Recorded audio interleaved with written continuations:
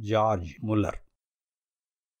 இவரை பற்றி தெரிந்து கொள்ள நாம் ஆயிரத்தி எண்ணூறுகளுக்கும் ஜெர்மனி இங்கிலாந்து ஆகிய இரு நாடுகளுக்கும் செல்ல வேண்டும். ஜார்ஜ் முல்லர் ஒரு பெரிய பணக்கார குடும்பத்தில் பிறந்தார். அவருடைய அப்பா வரி வசூலிக்கிற ஒரு அரசு அதிகாரி. அவர் இப்போது வடக்கு ஜெர்மனியில் இருக்கிற பிரசிலியாவில் பிறந்தார். அவர் கொஞ்சம் முரட்டுத்தனமான குழந்தையாக வளர்ந்தார். அதாவது குறும்புக்காரன். சேட்டை கொஞ்சம் அதிகம். அவருக்கு அப்போது பதினாறு வயது இருக்கும் ஒருமுறை இரவு முழுவதும் குடித்து சூதாடி கொண்டிருந்தார். அன்றிரவு அவருடைய தாய் இறந்து கொண்டிருந்தார். ஆனால் அது அவருக்கு தெரியாது. அடுத்த நாள் காலையில் அவர் போதை தெளிந்து வீட்டிற்கு சென்றபோது அவருடைய அப்பா அவருடைய அம்மாவின் மரணச் செய்தி அவருக்கு அறிவித்தார். ஜார்ஜ் முலர் அதை குறித்து கொஞ்சம் கூட கவலைப்படவில்லை. அவருடைய அப்பா சொன்னதை காதில் கூட வாங்கிக் கொள்ளவில்லை. அந்த துக்கச் செய்தி அவர் மேல் எந்த தாக்கத்தையும் ஏற்படுத்தவில்லை. ஜார்ஜ் முல்லர் அவருடைய ஆரம்ப காலத்தில் இப்படிப்பட்டவராகத்தான் இருந்தார். அவர் தன் பதினாறு வயதில் ஒரு மாதம் சிறையில் இருந்தார். அவர் ஏன் சிறைக்கு சென்றார் தெரியுமா? அவர் ஒரு ஆடம்பர விடுதியில் ஒரு வாரம் தங்கி விடுமுறையை உல்லாசமாக கழித்தார். ஆனால் விடுதிக்கு பணம் செலுத்தாமலே விடுதியை காலி செய்துவிட்டு போய்விட்டார். இந்த விடுதியை காலி செய்தபின் இன்னொரு ஆடம்பர விடுதியில் இதுபோல் ஒரு வாரம் தங்கினார். அந்த விடுதிக்கும் பணம் செலுத்தாமல் அறையை காலி செய்துவிட்டு போய்விட்டார். இப்படி மற்றவர்களை ஏமாற்றுவது பெரிய புத்திசாலித்தனம் என்று அவர் நினைத்தார். ஆனால் மாட்டிக்கொண்டார். சிறையில் அடைக்கப்பட்டார். அவருடைய அப்பா மிகவும் நல்லவர். அவர் பெரிய பணக்காரராக இருந்ததால் கொடுக்க வேண்டிய பணத்தை கொடுத்து அபராதம் செலுத்தி அவரை சிறையிலிருந்து வெளியே கொண்டு வந்தார். ஆனால் ஜார்ஜ் முல்லர் தன் வழிகளை மாற்றவில்லை. நடந்த நிகழ்ச்சிகள் அவரில் எந்த மாற்றத்தையும் ஏற்படுத்தவில்லை. உண்மையில் அவர் தான் மாட்டிக்கொண்டதற்காகத்தான் வருந்தினாரே தவிர தன் செயல்களுக்காக துளி கூட வருந்தவில்லை. இவ்வாறு அவருடைய இளமை பருவம் மோசடி ஏமாற்று பொய் போன்ற தீய செயல்களில் கழிந்தது. அவர் தன் நெருங்கிய நண்பர்களை கூட ஏமாற்றினார். மேலும் அவர் நிறைய திருட்டுச் செயல்களிலும் ஈடுபட்டார். அவர் ஒரு நல்ல தந்திரக்காரர். அவர் தன் மனம் போல வாழ முனைந்தார். அவர் தனக்காகவே வாழ்ந்தார். இப்படியெல்லாம் நடந்த பிறகும் ஜார்ஜ் முல்லர் லூத்தரன் சபையில் ஒரு பாஸ்டராக வேண்டும் என்று அவருடைய அப்பா விரும்பினார்.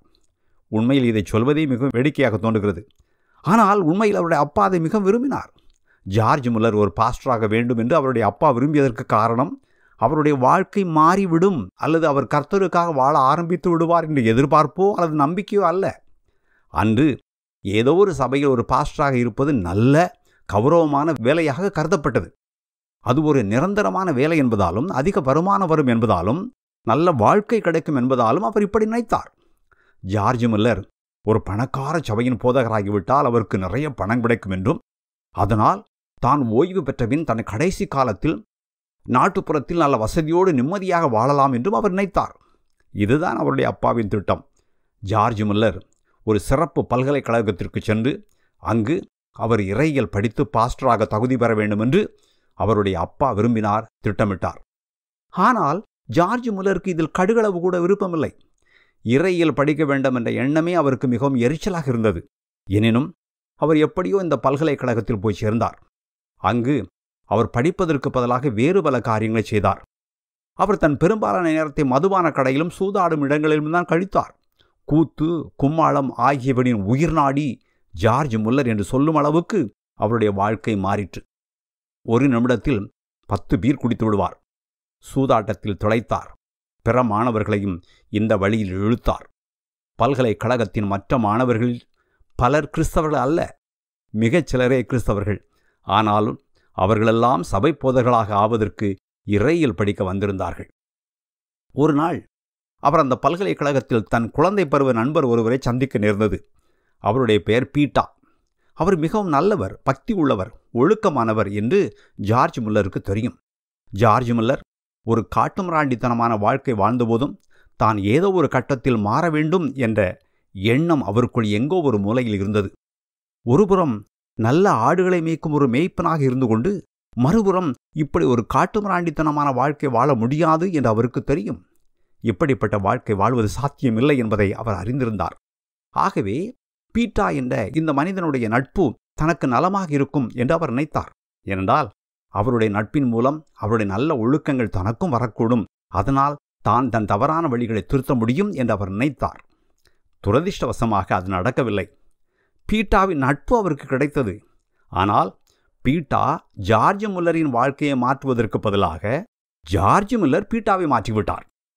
பீட்டா ஜார்ஜ் முல்லரை பின்பற்றத் தொடங்கினார். அவர் ஜார்ஜ் முல்லரோடு சேர்ந்து சாராய கடைக்கு சென்று குடிக்கவும் சூதாடவும் ஆரம்பித்தார். ஆனால் பீட்டாவுக்குள் ஒரு உறுத்துதல் இருந்து கொண்டே இருந்தது.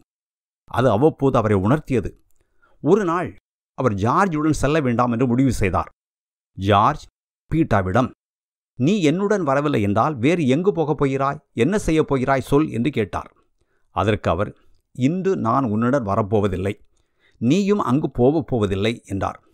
உடனே ஜார்ஜ் மன்னிக்கவும் நான் எங்கே செல்ல விரும்புகிறேன்? என்ன செய்ய விரும்புகிறேன் என்று உனக்கு எப்படி தெரியும்? என்று கேட்டார். அதற்கு பீட்டா இன்று நான் செல்ல விரும்புகிற இடத்துக்கு நீ வர விரும்ப மாட்டாய் என்றார். ஜார்ஜ் அதற்கு சரி ஒரு சவால். நான் இன்று உன்னுடன் வருகிறேன். நீ எங்கு போனாலும் நான் உன்னுடன் வருகிறேன் என்றார். பீட்டா நான் இன்று ஒரு வேதபாட வகுப்பில் கலந்து கொள்ளப் போகிறேன் என்றார். ஜார்ஜ் கொஞ்சம் சிரித்துவிட்டு பின்னர் ஓ நான் வேதபாட வகுப்புக்கு வரமாட்டேன் என்று நீ ஏன் நினைக்கிறாய்? என்று கேட்டார். பீட்டா ஏனென்றால் அங்கு அவர்கள் வேதாகமத்தை வாசிப்பார்கள் பாடல்கள் பாடுவார்கள் ஜெபிப்பார்கள் என்றார். ஜார்ஜ் ஒப்புக்கொண்டபடியே பீட்டாவுடன் வேதபாட வகுப்புக்கு சென்றார். அங்கு போனால் கொஞ்சம் வேடிக்கையாகவும் இருக்கும் நல்ல பொழுதும் போகும் என்று அவர் நினைத்தார். ஆனால் அவர் அங்கு போனவுடன் தன்னை பற்றி மிகவும் தாழ்வாக நினைக்க ஆரம்பித்தார். அவர் போன இடம் ஒரு பெரிய தேவாலயம் அல்ல அது ஒரு சாதாரணமான வீடு. அந்த வீட்டில் தான் வேதபாட வகுப்பு நடைபெற்றது. அங்கு மக்கள் ஜெபித்தார்கள். அவர்கள் ஜெபித்தபோது இவர்கள் உண்மையாகவே தங்கள் உள்ளத்தில் இருப்பதை சொல்லுகிறார்கள் என்று அவர் நினைத்தார். முன்னால் இருந்தவர் வேதத்தை பற்றி பேசியபோது அவர்கள் எல்லாரும் வேதாகமத்தை திறந்து பார்த்தார்கள். அதை அவர்கள் நல்ல இலக்கியத்தின் எடுத்துக்காட்டாகவோ வெறுமனை ஒரு புத்தகமாகவோ பார்க்கவில்லை. மாறாக நல்ல வாழ்க்கை வாழ்வதற்கு உதவும் நடைமுறைக்குரியதாகத்தான் பார்த்தார்கள். இவர்கள் உண்மையாகவே தேவனை விசுவாசிக்கிறார்கள் என்றும் இவர்கள் தேவனுக்காக வாழ விரும்புகிறார்கள் என்றும் அவர் உணர்ந்தார். இதுபோன்ற உண்மையான கிறிஸ்தவர்களை அவர் இப்போதுதான் முதன்முறையாக சந்தித்தார். அது அவர் மேல் ஒரு பெரிய தாக்கத்தை ஏற்படுத்தியது. வேதபாட வகுப்பு முடிந்து அவர் வந்தபின் மீண்டும் அடுத்த முறை அங்கு போவதென்று தீர்மானித்தார். அந்த வாரம் அவர் ஒவ்வொரு நாளும் வேதபாட வகுப்புக்கு சென்றார். அந்த வேதபாட வகுப்பு ஒருவருடைய வீட்டில் நடைபெற்றது.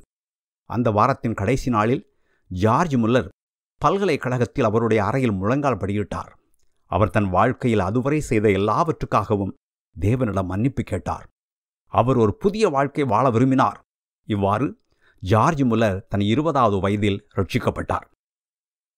அவருடைய நடவடிக்கைகளிலும் குணத்திலும் பெரிய மாற்றம் ஏற்பட்டது. அவர் ரட்சிக்கப்படுவதற்கு முன் அவர்தான் அவருடைய கூட்டத்தின் உயிர்நாடி அவர்தான் சூத்திரதாரி. அவருடைய நடத்தையில் வியத்தகு மாற்றங்கள் ஏற்பட்ட போதும் அவருடைய பழைய நண்பர்கள் அவர் விடவில்லை. அவர்கள் கொதித்தெழுந்தார்கள்.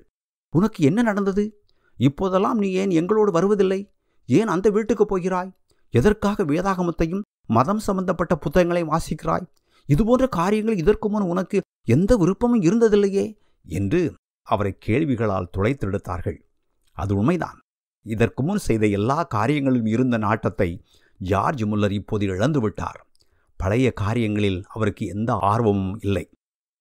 ரட்சிக்கப்பட்டு ஆறு வாரங்களுக்குள் தான் ஒரு மிஷனரியாக செல்ல வேண்டும் என்ற பேரார்வம் அவருக்குள் ஏற்பட்டது.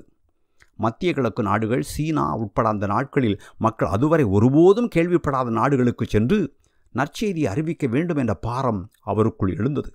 அவர் உண்மையாகவே அதை செய்ய விரும்பினார். மிஷனரிகளாக செல்ல வேண்டும் என்று விரும்பிய பலரை அவர் சந்தித்தார். அவர்கள் அவர் மேல் பெரிய தாக்கத்தை ஏற்படுத்தினார்கள். அவர் தன் அப்பாவிடம் சென்று காரியங்களை சரி செய்வது நல்லது என்று நினைத்தார். ஏனென்றால் அவர்கள் இருவருக்கும் இடையே இருந்த உறவு மிகவும் மோசமாக இருந்தது. ஏறக்குறை எந்த உறவும் இல்லை என்று சொல்லலாம்.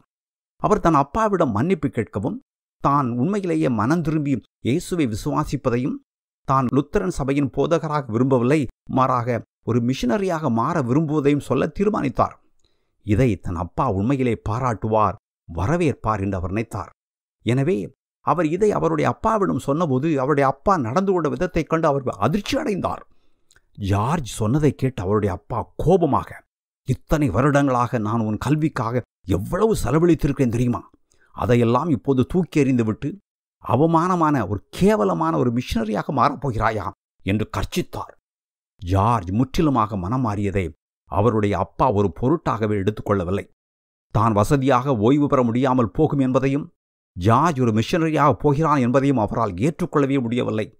என் கண்ணில் படாமல் ஓடிவிடு என்பதே ஜார்ஜ் முல்லரிடம் அவர் சொன்ன கடைசி வார்த்தைகள். எனவே இனிமேல் அப்பா தனக்கு பணம் தரமாட்டார் என்று ஜார்ஜ் முல்லருக்கு தெரிந்துவிட்டது. அவரும் தன் அப்பாவிடம் பணம் கேட்கப் போவதில்லை என்று முடிவு செய்தார். இது ஒரு பெரிய சிக்கலை ஏற்படுத்தியது. ஏனென்றால் அவர் பல்கலைக்கழகத்தில் படித்துக் கொண்டிருந்தார். கல்வி கட்டணம் செலுத்த வேண்டியிருந்தது. நிறைய புத்தகங்கள் வாங்க வேண்டியிருந்தது. பிற மாணவர்களைப் போலவே அவரும் பல்கலைக்கழகத்தில் ஒரு சிறிய அறையை வாடகைக்கு எடுத்து தங்கியிருந்தார். ஆகவே பணத்துக்கு எந்த வழியும் இல்லை என்பதை புரிந்து கொண்டார். அவர் தன் அப்பாவிடமிருந்து எந்த உதவியும் ஏற்க விரும்பவில்லை. அப்படி செய்வது சரியல்ல என்று அவருக்கு தெரியும். அதனால் அவர் முழங்காலில் நின்று கர்த்தரை நோக்கி இந்த காரியத்தில் நான் என் பூமிக்குரிய அப்பாவுடனான உறவை துண்டித்து விட்டேன். ஆனால் எனக்கு தேவையானவைகளை வழங்குவதற்காக என் பரலோக தகப்பனாகிய உம்மை நான் நம்புகிறேன் என்று கூறினார். இது அவர் விசுவாசத்தோடு தேவனை தேடிய முதல் அனுபவம் என்று சொல்லலாம். அவர் இவ்வாறு ஜெபித்து சுமார் ஒரு மணி நேரம் கழித்து அவருடைய சிறிய அறையின் கதவை ஒருவர் தட்டினார். பல்கலைக்கழக ஆசிரியர் ஒருவர் அங்கு நின்று கொண்டிருந்தார். அவர் அமெரிக்காவிலிருந்து இரண்டு விரிவுரையாளர்களும் பல்கலைக்கழகத்திற்கு வரவிருக்கிறார்கள்.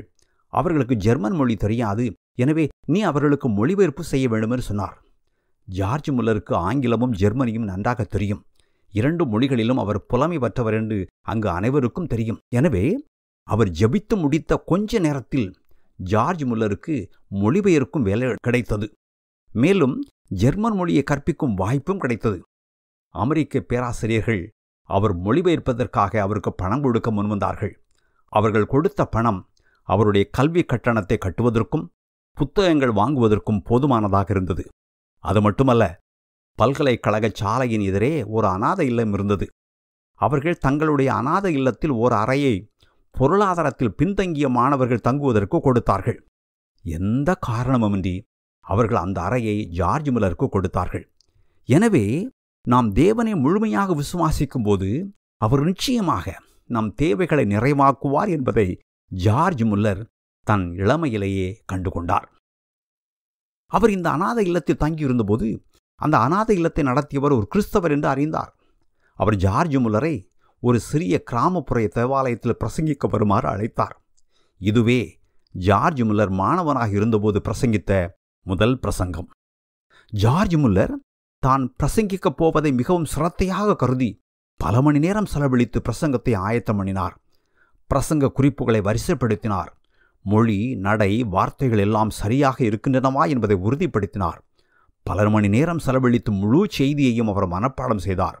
உச்சரிப்பு துணி குரல் அழுத்தம் எல்லாவற்றையும் பயிற்சி செய்தார். பிரசங்கிக்க வேண்டிய நாளில் தேவாலயத்திற்கு சென்றார். பிரசங்க மேடையில் ஏறி நின்றார்.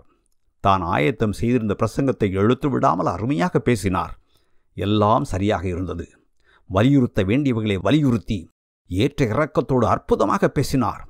பிரசங்கித்து முடித்தபின் அவர் அந்த கிராமப்புறத்தில் இருந்த கல்வி அறிவற்ற விவசாயிகள் தொழிலாளர்கள் விதவைகள் அனைவரிடமும் கைகுலித்துக் கொண்டிருந்தபோது ஒருவர் அவரிடம் வந்து உங்களுடைய பிரசங்கம் மிகவும் அருமையாக இருந்தது. ஆனால் என்னால் ஒரு வார்த்தையை கூட புரிந்து கொள்ள முடியவில்லை என்று சொன்னார். ஜார்ஜ் முல்லர் இதை கேட்டு மிகவும் அதிர்ச்சி அடைந்தார். இதன் பொருள் என்ன? இதோ படிப்பறிவற்ற இந்த மக்களுடன் நான் பேசுகிறேன். நான் பிரசங்கித்த பிரசங்கம் நன்றாக இருந்தது என்று சொல்லுகிறார்கள். ஆனால் எதுவும் புரியவில்லை என்றும் சொல்கிறார்களே என்று சிந்திக்க ஆரம்பித்தார். பிரசங்கித்து முடித்தபின் மதிய உணவு சாப்பிட வருமாறு அவரை அழைத்தார்கள். அப்போது அவர் மன்னிக்கவும் சாயங்காலம் மீண்டும் பேச வேண்டியிருப்பதால் என்ன பேச வேண்டும் என்பதை கொஞ்சம் ஆயத்தம் செய்ய வேண்டும் ஜெபிக்க வேண்டும் நேர வேண்டும் என்று சொன்னார். தான் பேச வேண்டிய செய்தியை அவர் மிகவும் விவரமாக ஏற்கனவே ஆயத்தம் பண்ணி வைத்திருந்தார். தான் ஆயத்தம் பண்ணி வைத்திருந்த செய்தியை குப்பத்தொட்டியில் தூக்கி எறிந்தார். ஜெபிக்க ஆரம்பித்தார். தேவனே இப்போது என்ன செய்வது என்று எனக்கு தெரியவில்லை. பல்கலைக்கழகத்திலும் இறையியல் கல்லூரியிலும் கற்ற காரியங்கள் வேலை செய்யாது என்று தெரிகிறது. இந்த மக்கள் புரிந்து கொள்ளும் வண்ணம் அவர்களுக்கு கற்பிக்க எனக்கு வார்த்தைகள் வேண்டும். அவர்களை தொட வேண்டும் என்று ஜெபித்தார். ஆகவே அவர் அன்று மாலை பேச வேண்டிய செய்தியை கர்த்தர் அவருக்கு கொடுத்தார்.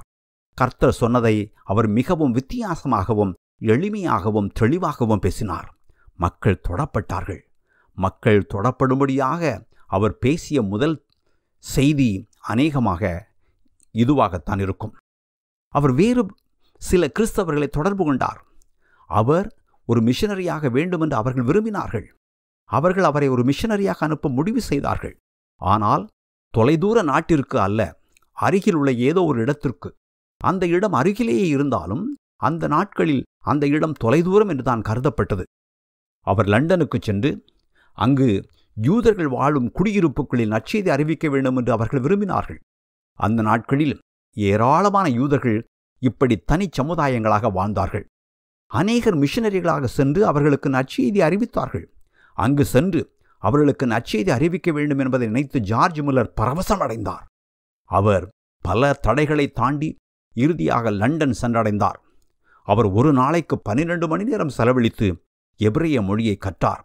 ஆறு மாதங்களில் அவர் எபிரேய மொழியில் சரளமாக பேசவும் வாசிக்கவும் ஆரம்பித்தார். எபிரேய மொழியில் கொஞ்சம் எழுதவும் ஆரம்பித்தார். லண்டனுக்கு மிஷனரியாக செல்வதற்காகவும் அங்குள்ள யூதர்களுக்கு நற்செய்தி அறிவிப்பதற்காக எபிரேய மொழி கற்பதற்காகவும் அவர் கடுமையாக உழைத்தார். அதனால் அவர் மிகவும் நோய்வாய்ப்பட்டார். அவருக்கு உடல்நிலை சரியில்லாமல் போயிற்று. இதற்கு முன் ஒருமுறை அவருடைய வயிற்றில் ஒரு இரத்த நாளம் வெடித்து பிரச்சனை ஆயிற்று. அது இப்போது மீண்டும் சிக்கலாயிற்று. மருத்துவர்கள் அவரிடம் நீங்கள் காரியங்களை கொஞ்சம் மெதுவாக செய்ய வேண்டும். இப்போது உங்களுடைய எல்லா வேலைகளையும் நிறுத்திவிட்டு ஓய்வெடுக்க வேண்டும் என்று அறிவுரை கூறினார்கள். அந்த நாட்கள் இப்படி சொன்னால் என்ன அர்த்தம் என்றால் நீங்கள் கொஞ்சம் ஆரோக்கியமான காற்றை சுவாசிப்பதற்காக கிராமப்புறத்துக்கு செல்ல வேண்டும் என்பதே பொருள். எனவே யூத சமூகங்களில் அவர் மிஷனரியாக செல்லவிருந்த அந்த தருணத்தில் ஓய்வுக்காக அவர் டீக் மவுத் என்ற ஒரு கடலோர நகரத்திற்கு அனுப்பப்பட்டார். டீக் மவுத் ஒரு சிறிய கடற்கரை நகரம் மீன்பிடி நகரம். அங்கு ஒரு துறைமுகம் இருந்தது. அவர் இந்த நகரத்தில் ஓய்வெடுக்கச் சென்றார். போதிய ஓய்வெடுத்தால் சீக்கிரம் குணமடையலாம் என்பதற்காக மட்டுமே அவர் இங்கு தங்கினார். ஆனால் அவர் இந்த நகரத்தில் ஹென்றி கிரைக் என்ற ஒரு மனிதனை சந்தித்தார். ஹென்றி கிரைக் ஒரு நல்ல கிறிஸ்தவர். அவர் இந்த சிறிய நகரத்தில் பல ஆண்டுகளாக ஊழியம் செய்து கொண்டிருந்தார். அவர் ஜார்ஜ் முல்லரை வேறு சில மிஷனரிகளுக்கு அறிமுகப்படுத்தினார். குரோஸ் என்ற ஒரு மனிதர் அங்கு இருந்தார். அவர் தன்னிடமிருந்த அனைத்தையும் விட்டுவிட்டு பெர்சியாவுக்கு மிஷனரியாக சென்றிருந்தார். ஜார்ஜ் முல்லர் இந்த குடும்பத்தை சந்தித்தார். அதன் விளைவாக அவர் கிளர்ந்தெழுந்தார் எழுச்சி அடைந்தார். எனவே பெர்சியாவுக்கு செல்ல வேண்டும் என்ற எண்ணம் அவருக்கு எழுந்தது. பெர்சியாவுக்கு மிஷனரியாக செல்ல வேண்டும் என்ற எண்ணம் இதற்கு முன் பலருக்கு வந்ததில்லை. எனவே மிஷனரியாக வேண்டும் என்ற எண்ணம் மீண்டும் அவருடைய மனதில் ஏற்பட்டது. வேதாகமத்தை எப்படி முறையாக வாசிக்க வேண்டும் என்று ஹென்றி கிரைக்கிடமிருந்து ஜார்ஜ் முலர் கற்றுக்கொண்டார். இதற்கு முன்பும் அவர் வேதாகமத்தை வாசித்தார். ஆனால் இப்போது அவர் வேதாகமத்தையும் வேதாகமத்தை பற்றிய பல ஆவிக்குரிய புத்தகங்களையும் படித்தார். வேதாகமத்தை வாசிக்கவும் கர்த்தர் என்ன சொல்கிறார் என்பதை உன்னிப்பாக கவனிக்கவும் அவர் சொல்வதை அவருடைய வார்த்தையின்படி எழுத்தின்படி எடுத்துக்கொள்ளவும் ஹென்றி அவருக்கு கற்றுக் கொடுத்தார். எனவே ஜார்ஜ் முல்லர் வேதாகமத்தை மிகவும் உத்தமமாக வாசிக்கத் தொடங்கினார். அவர் வேதாகமத்தை ஒவ்வொரு ஆண்டும் ஏறக்குறைய நான்கு முறை வாசித்தார். அவர் கொஞ்சம் குணமடைந்த பின் மீண்டும் லண்டனுக்கு திரும்பினார். நான் என் படிப்பை முடிக்கும் வரை ஏன் காத்திருக்க வேண்டும்? நான் ஏன் இப்போதே வெளியே சென்று மக்களை சந்தித்து துண்டு பிரசுரங்களை கொடுத்து அவர்களோடு பேசக்கூடாது? இதை அதிகாரப்பூர்வமாக செய்யும் வரை நான் ஏன் காத்திருக்க வேண்டும் என்று சிந்திக்கத் தொடங்கினார். எனவே அவர் தன் எண்ணத்தை செயல்படுத்த ஆரம்பித்தார். ஆம் அவர் வெளியே சென்று தெருக்களில் மக்களை சந்தித்து துண்டு பிரசுரங்களை விநியோகிக்க தொடங்கினார். யூதர்களுக்கு மட்டுமல்ல உண்மையில் எல்லோருக்கும் தேவன் தேவைப்படுகிறார் என்று அவர் கண்டுபிடித்தார். ஏனென்றால் அந்த நாட்களில் இங்கிலாந்தில் எல்லோரும் கிறிஸ்தவர்கள் என்று அழைக்கப்பட்டாலும் உண்மையான கிறிஸ்தவர்கள் ஒரு சிலர் மட்டுமே இருந்தார்கள். பெரும்பாலானவர்கள் பெயரளவில் மட்டுமே கிறிஸ்தவர்களாக இருந்தார்கள்.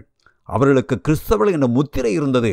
ஆனால் உண்மையில் அவர்களுக்கு கிறிஸ்துவையும் கிறிஸ்தவத்தையும் தெரியாது. எனவே யூதர்களுக்கு மட்டுமல்ல எல்லாருக்கும் நற்செய்தி அறிவிக்க வேண்டும் என்று அவர் விரும்பினார். எல்லாருக்கும் நற்செய்தி அறிவிக்க வேண்டும் என்று அவர் முடிவு செய்தார். கர்த்தர் அவரை அந்த பாதையில் நடத்தினார். எனவே மிஷன் சொசைட்டியுடனான உறவை அவர் துண்டித்தார். அவர்களோடு தன் உறவை தொடர்வது சரியல்ல என்று அவர் நினைத்தார். ஏனென்றால் அவர்கள் அவரை யூத மக்களுக்கு மட்டுமே நற்செய்தி அறிவிக்க வேண்டும் என்று விரும்பினார்கள். ஆனால் தேவன் தன்னை இந்த யூத மக்களுக்காக மட்டும் தெரிந்தெடுக்கவில்லை. எந்த அளவுக்கு அவர்களுக்கு நற்செய்தி தேவைப்படுகிறதோ அந்த அளவுக்கு இன்னும் அநேகருக்கு தேவைப்படுகிறது. அவர்களுக்கும் பணிவிடை செய்ய வேண்டும் என்று அவர் உணர்ந்தார். அவரை டீக் மவுத்துக்கு திரும்பி வருமாறு ஹென்றி கிரைக் வேண்டினார். எனவே அவர் டீக் மவுத்துக்கு திரும்பிச் சென்றார். அவர் அந்த கடலோர நகரத்தில் எபினேசர் சபை என்று அழைக்கப்பட்ட ஒரு சிறிய தேவாலயத்தின் போதகரானார். இந்த சிறிய தேவாலயத்தில் படிப்பறிவில்லாத பதினெட்டு மீனவர்கள் இருந்தார்கள். அவர்கள் இந்த தேவாலயத்தின் ஆராதனைகளில் உண்மையும் உத்தமமாக கலந்து கொண்டார்கள். ஜெர்மனியைச் சேர்ந்த இந்த வெளிநாட்டவர் படிப்பறிவில்லாத இந்த பதினெட்டு பேர் மட்டுமே இருக்கிற இந்த சபையில் பணியாற்ற ஏன் வந்தார் என்று அங்கு சிலர் ஆச்சரியப்பட்டார்கள். அங்கிருப்பவர்கள் படிக்காதவர்கள். இவரோ நன்கு படித்தவர். இது மிகவும் விசித்திரமானது என்று மக்கள் நினைத்தார்கள். ஆனால் இந்த சபை வளர்ந்தது. மக்கள் அவருடைய விசித்திரமான ஆங்கில உச்சரிப்பை ஆர்வமாக கேட்டார்கள். ஆனாலும் சபை வளர்ந்தது. டீக் மவுத்தில் இன்னொரு காரியம் நடந்தது. குரோவ்சின் என்ற ஒரு மிஷனரியின் சகோதரியை ஜார்ஜ் முல்லர் இங்கு சந்தித்தார். அவருடைய பெயர் மேரி அவர் ஜார்ஜ் முல்லரை விட சற்று வயதானவர். தேவன் மேல் உறுதியான விசுவாசம் கொண்டவர். அவர்கள் இருவரும் காதலித்து ஆயிரத்தி எண்ணூற்றி முப்பதில் திருமணம் செய்து கொண்டார்கள். அவர்கள் இருவரும் தங்கள் சமூகத்திற்கு ஒரு நல்ல முன்மாதிரியாக வாழ வேண்டும் என்று முடிவு செய்தார்கள். அந்த சிறிய மீனவ நகரம்தான் அவருடைய சமூகம். அது மிகவும் ஏழ்மையான எளிமையான நகரம். அன்றைய பழக்கத்தின்படி மேரி திருமணமான பிறகு தன்னுடைய நகைகளையும் தேநீர் போடுவதற்கான பெட்டிகளையும் வேறு சில தட்டுமுட்டு சாமான்களையும் தன்னுடன் கொண்டு வந்திருந்தார். அவர் அவைகளை தங்கள் புதிய வீட்டிலே ஜார்ஜ் முல்லர் வாழ்ந்த அந்த வீட்டிலே ஒழுங்காக அடுக்கி வைத்தார். ஜார்ஜ் முல்லர் மட்டும் அந்த வீட்டில் இருந்த நாட்களில் அங்கு பெரிய சாமான்கள் ஒன்றும் இருக்கவில்லை. இப்போது கொஞ்சம் சாமான்கள் இருந்தன. வீடும் அழகாக நேர்த்தியாக இருந்தது. ஆனால் ஜார்ஜ் வீட்டை சுற்றி பார்த்துவிட்டு நமக்கு இவைகள் தேவையில்லை. நாம் இவைகளை பிறருக்கு கொடுத்து விட வேண்டும். அல்லது விற்று அந்த பணத்தை ஏழைகளுக்கு கொடுத்து விட வேண்டும். நாம் மிக எளிமையாக வாழ வேண்டும். நாம் யாருக்கு பணிவிடை செய்கிறோமோ அவர்களைப் போலவே நாம் இருக்க வேண்டும் என்று தன் மனைவியிடம் சொன்னார். ஆகவே மேரி தன் சாமான்களையெல்லாம் விற்று அந்த பணத்தை ஏழைகளுக்கு கொடுத்தார். அது மட்டுமல்ல ஒரு நாள் ஜார்ஜ் வேதத்தை படித்துக் கொண்டிருந்தபோது ஒரு காரியம் அவருக்கு நெருடலாக இருந்தது. கொஞ்ச நாட்களாகவே அது அவருடைய மனச்சாட்சியை தொந்தரவு செய்து கொண்டிருந்தது. அந்த நாட்களில் அது மிகவும் பாரம்பரியமான ஒன்று. ஆலயத்தின் முன் இருக்கைகளை வாடகைக்கு விடும் பழக்கம் ஒன்று அங்கு இருந்தது.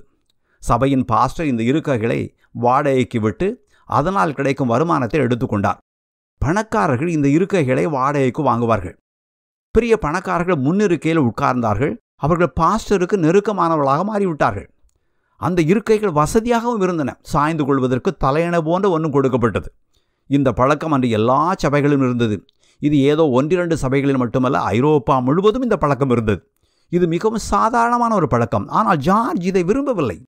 இது வேதத்திற்கு முரணானது என்று அவர் உணர்ந்தார். சபையின் விவகாரங்களில் பணக்காரர்களின் தலையீடு அதிகமாக இருந்தது. ஏழை மக்களுக்கு எந்த பங்கும் இல்லை. சபையிலும் அவர்கள் கடைசியில் எங்கோ ஒரு மூலையில் உட்கார்ந்திருந்தார்கள். எனவே அவர்களை யாரும் கண்டுகொள்ளவில்லை. ஆகையால் இருக்கைகளை வாடகைக்கு விடும் பழக்கத்தை ஒழித்தாக வேண்டும் என்று நினைத்தார். எனவே அவர் தன் மனைவிடம் நான் சபையிலிருந்து சம்பளம் வாங்குவதை விரும்பவில்லை. இதுபோன்ற எல்லாவற்றையும் நான் விட்டுவிடப் போகிறேன் என்றார் அதற்கு அவருடைய மனைவி கொஞ்சம் சந்தேகத்தோடு என்ன சொல்லுகிறீர்கள்? என்று கேட்டார். இனிமேல் இந்த வாடகை மூலம் கிடைக்கும் வழக்கமான வருமானத்தை நான் விரும்பவில்லை. அது தவறு என்று நான் நினைக்கிறேன் என்றார். அதற்கு அவர் சரி அப்படியானால் நாம் எப்படி பிழைக்கப் போகிறோம்? என்று கேட்டார். அதற்கு அவர் கர்த்தர் தருவார் என்றார். அவருடைய மனைவி ஆமன் என்று சொன்னார். எனவே அவர்கள் அந்த பழக்கத்தை கைவிட்டார்கள். அதற்கு பதிலாக அவர்கள் ஆலயத்தின் புன்புறத்தில் ஒரு சிறிய பெட்டியை வைத்தார்கள். அதில் மன உற்சாகமான காணிக்கை என்று எழுதி வைத்தார்கள். பொதுமக்கள் குறிப்பாக பாஸ்டர்கள் இதை பார்த்து அதிர்ச்சி அடைந்தார்கள். இது தேவையற்றது என்றும் இது பாரம்பரியத்தையும் பழக்கத்தையும் மீறும் செயல் என்றும் அவர்கள் நினைத்தார்கள். அது மட்டுமல்ல மக்கள் காணிக்கை கொடுக்கவும் விரும்பவில்லை.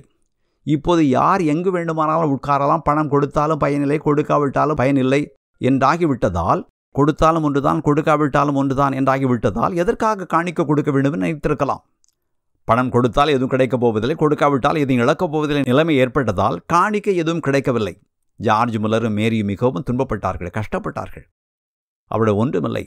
அதற்கு முன் அவர்களுக்கு ஆண்டுக்கு ஐம்பத்தைந்து பவுண்டு சம்பளம் கொடுத்தார்கள். இப்போது அந்த சம்பளத்தை வேண்டாம் என்று சொல்லிவிட்டார்கள். இப்போது மக்கள் காணிக்கை பெட்டியில் போடும் சில்லறைகளை மட்டுமே நம்பியிருந்தார்கள். பொதுவாக மக்கள் காணிக்கை போடவில்லை. சில நேரங்களில் சிலர் கொடுத்தார்கள் பலர் கொடுக்கவில்லை. ஆனால் ஜார்ஜ் முல்லர் தன் முடிவிலும் தன் செயலிலும் உறுதியாகவும் தெளிவாகவும் இருந்தார். ஏனென்றால் அவர் கர்த்தருடைய வார்த்தையை நம்பினார். நாம் கர்த்தரை கனம்பண்ணினால் அவர் நம்மை கனம்பண்ணுவார் என்றும் அவர் நம் தேவைகளை நிறைவாக்குவார் என்றும் அவர் நமக்கு வழிகாட்டுவார் என்றும் வேதாகமும் கூறும் வாக்குறுதி அவருக்கு தெரியும். அவர் அதை நம்பினார். எனவே அவர் கர்த்தரை நோக்கி நான் எடுத்த முடிவுகள் சரியானவை என்று நான் நினைக்கிறேன். எனவே நான் அவைகளை செய்தேன். நீர் எனக்கு தேவையானவைகளை தருவீர் என்று எனக்கு தெரியும் என்று சொன்னார். சில நேரங்களில் ஜார்ஜ் மில்லரும் அவருடைய மனைவியும் இரவு உணவு சாப்பிடுவதற்காக உட்கார்ந்திருப்பார்கள். ஆனால் அவர்களுக்கு முன்னால் காலி தட்டும் காலி கோப்பையும் தான் இருக்கும். சாப்பிடுவதற்கு எதுவும் இருக்காது. ஒரு ரொட்டி துண்டு வாங்க ஒரு பைசா கூட இருக்காது. அவர்கள் அங்கே உட்கார்ந்து ஜெபித்து விட்டு எழுந்து போய்விடுவார்கள். தேவனே உம் கிருபைக்காக நன்றி. உம் ஏற்பாட்டிற்காக நன்றி என்று ஜெபிப்பார்கள். பல நேரங்களில் பலர் அவருடைய வீட்டு கதவை தட்டி உங்களுக்கு ரொட்டி வேண்டுமா என்று கேட்டதாகவும் வேறு சில நேரங்களில் வேறு சிலர் என்னால் உட்கார்ந்து சாப்பிட முடியவில்லை. ஏனென்றால் நான் இங்கு வந்து இந்த ரொட்டியை உங்களுக்கு கொடுக்க வேண்டும் என்று கர்த்தர் சொன்னார் என்று சொன்னதாகவும் அவர் தன் நாளேட்டில் எழுதியிருந்தார். இப்படி நடந்த போதெல்லாம் ஜார்ஜ் கர்த்தருக்கு நன்றி சொல்லியபினும் தன் மனைவி மேரியிடம் இதோ பார்த்தாயா கர்த்தர் இந்த முறையும் நமக்கு அருளி இருக்கிறார் என்று கூறுவாராம். இந்த நேரத்தில் ஹென்ரி கிரைக் பிரிஸ்டலுக்கு குடிபெயர்ந்தார். பிரிஸ்டல் ஒரு பெரிய நகரம். அவர் பிரிஸ்டல் நகரத்தின் நடுவில் சில தேவாலயங்களில் ஊழியம் செய்ய விரும்பினார். ஜார்ஜ் முல்லரும் தன்னுடன் வர வேண்டும் என அவர் விரும்பினார். அந்த நேரத்தில் ஜார்ஜ் முல்லர் டீக்னமௌத்தில் இருந்தார். அவர் அங்கு வந்து கொஞ்ச காலம் ஆயிற்று. தான் அந்த இடத்தை விட்டு வெளியேற வேண்டிய நேரம் வந்துவிட்டது என்றே அவர் நினைத்தார். எனவே அவரும் ஹென்ரியும் சேர்ந்து ஊழியம் செய்தார்கள். அவர்கள் பிரிஸ்டலில் உள்ள மக்களுக்கு ஊழியம் செய்ய தீர்மானித்தார்கள். இருவரும் இரண்டு சிறு ஆலயங்களில் ஊழியம் செய்தார்கள். இருவரும் இரண்டு சபைகளில் மாறி மாறி பிரசங்கித்தார்கள். சபையின் இருக்கைகளை வாடகைக்கு விடும் பழக்கத்தை ஒழித்தார்கள். மக்கள் கொடுத்த சிறு சிறு காணிக்கையை கொண்டு வாழ ஆரம்பித்தார்கள். அவர்கள் இருவரும் மிக எளிமையான வாழ்க்கை வாழ்வதென முடிவு செய்தார்கள். இவ்வாறு வாழ்வதென்றும் சபைகளை நடத்துவதென்றும் தீர்மானித்தார்கள். ஜார்ஜ் முல்லரின் மனைவி மேரிக்கு இது கடினமாக இருந்தது. ஏனென்றால் பிரிஸ்டல் ஒரு துறைமுக நகரம். அப்போது எங்கும் தொழிற்புரட்சி நடந்து கொண்டிருந்தது. மக்கள் கூட்டம் கூட்டமாக வேலைகளுக்காக நகரங்களுக்கு குடிபெயர்ந்து கொண்டிருந்தார்கள். பிஸ்டலிலும் தொழில் புயற்சி ஏற்பட்டது. எனவே அந்த நகரம் மிகவும் அழுக்காக இருந்தது. மக்கள் நகரத்துக்கு குடிபெயர்ந்ததால் நெரிசல் அதிகமாயிற்று. ஏராளமான தொழிற்சாலைகள் அமைக்கப்பட்டன. பிரிஸ்டல் மேரிக்கு பழக்கமான இடம் இல்லை. அந்த நகரமும் அந்த நகரத்தின் சூழலும் மேரிக்கு மிகவும் சிக்கலாயிற்று. அவர் டவோன் டீக்மவுத் போன்ற அழகான மலைப்பாங்கன பகுதிகளில் வாழ்ந்து பழகிய ஒரு கிராமத்து பெண். எனவே நகரத்தில் வாழ்வது அவருக்கு மிகவும் சங்கடமாக இருந்தது. அவர்கள் அங்கு போனபோது அந்த நகரம் முழுவதும் காலரா நோய் பரவி கொண்டிருந்தது. காலரா அவருடைய பிரச்சனையை இன்னும் சிக்கலாக்கிற்று. அந்த நாட்களில் காலராவுக்கு உரிய மருந்து இல்லாததால் அந்த நோயினால் பாதிக்கப்பட்டவர்கள் ஒன்று அல்லது இரண்டு நாட்களுக்கு பிறகு இறந்து விடுவார்கள். அந்த நாட்களில் எந்த சிகிச்சையும் இல்லை. அவர்கள் பிரிஸ்டலுக்கு சென்றபோது இந்த காலரா அங்கு பயங்கரமாக பரவி கொண்டிருந்தது. முல்லருக்கு இது மிகவும் சிக்கலாகிவிட்டது. ஏனென்றால் அவரையும் ஹென்ரியையும் மக்கள் தங்கள் வீடுகளுக்கு அழைத்தார்கள். மக்கள் காலராவினால் இறந்து கொண்டிருந்தார்கள். நோய்வாய்ப்பட்ட மக்களுக்காகவும் மரணத்தருவாயில் இருந்த மக்களுக்காகவும் ஜெபிக்க வருமாறு மக்கள் அவர்கள் அழைத்தார்கள். அவருடைய வீடுகளுக்கு போவதாலும் நோய்வாய்ப்பட்டவர்கள் மேல் தங்கள் கைகளை வைத்து ஜெபிப்பதாலும் அவர்களுக்கும் நோய் வருவதற்கான வாய்ப்புகள் அதிகமாகின இந்த கட்டத்தில் மேரி கற்பமாக இருந்தார். அது அவருடைய முதல் குழந்தை. ஜார்ஜ் காலராவினால் பாதிக்கப்பட்டு இறந்து விடுவார் என்றும் அதனால் தானும் குழந்தையும் இந்த பூமியிலே தனியாக வாழ நேரிடும் என்றும் அவர் மிகவும் பயந்தார். இன்னொரு ஆபத்தான காரியம் என்னவென்றால் ஏராளமான மக்கள் ஆலயங்களுக்கும் வர ஆரம்பித்தார்கள். என்றால் மரண பயம் எல்லாரையும் கவ்விக்கொண்டது. ஜார்ஜ் முல்லரும் ஹென்ரியும் ஊழியம் செய்த பெதஸ்தா ஆலயத்துக்கும் கிதியோன் ஆலயத்துக்கும் மக்கள் திரண்டு வந்தார்கள். மக்கள் கூட்டம் அலைமோதியது.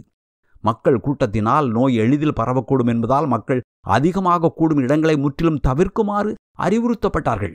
ஆனால் ஆலயங்களுக்கு வருபவர்களை அவர்களால் வெளியேறச் சொல்ல முடியவில்லை. எனவே ஜார்ஜ் முல்லரும் ஹென்ரியும் தங்கள் சபைக்காக ஊக்கமாக ஜெபித்தார்கள். ஆலயங்களுக்கு வருபவர்கள் யாரும் நோய்க்கு ஆளாக மாட்டார்கள் என்று நம்பினார்கள். உண்மையில் அவருடைய சபைகளில் ஒரே ஒருவர் மட்டுமே காலராவால் இறந்தார் என்று காலரா அடங்கிய பின் பல மாதங்களுக்கு பிறகு அவர்கள் தெரிந்து கொண்டார்கள். அவருடைய முதல் குழந்தையின் பெயர் லிதியா. மிக கடினமான இந்த நேரத்தில் தான் அவள் பிறந்தாள். அந்த குழந்தை உயிர் பிழைத்தது தேவ கிருபை. ஆச்சரியம். மிஷனரியாக வேண்டும் என்ற எண்ணத்தை ஜார்ஜ் மில்லர் ஒருபோதும் கைவிடவில்லை. உலகத்தின் கடைசி முனைவரை சென்று நச்சையை அறிவிக்க வேண்டும் என்ற எண்ணம் அவருடைய மனதில் இன்னும் இருந்தது. அவர் ஒரு நாள் பிரிஸ்டனின் தெருக்களில் இதை பற்றி யோசித்து கொண்டு நடந்து போய்க் கொண்டிருந்தார். அப்போது ஒரு சிறிய கை அவருடைய முழங்கையை தட்டியது. அவர் திரும்பி பார்த்தார். அங்கு ஒரு சிறுமி நின்று கொண்டிருந்தாள். சுமார் ஐந்து வயது இருக்கலாம். அவள் தன் முதுகில் ஒரு சிறுவனை சுமந்து கொண்டிருந்தாள். அவனுக்கு அநேகமாக ஒரு வயது இருக்கலாம். அவள் அழுக்காக இருந்தாள். பரட்ட தலை உடல் முழுவதும் குப்பை கால்களில் காலணிகள் இல்லை கிழிந்த ஆடை முதுகில் இருந்த குழந்தை எலும்பும் தோலுமாக இருந்தது.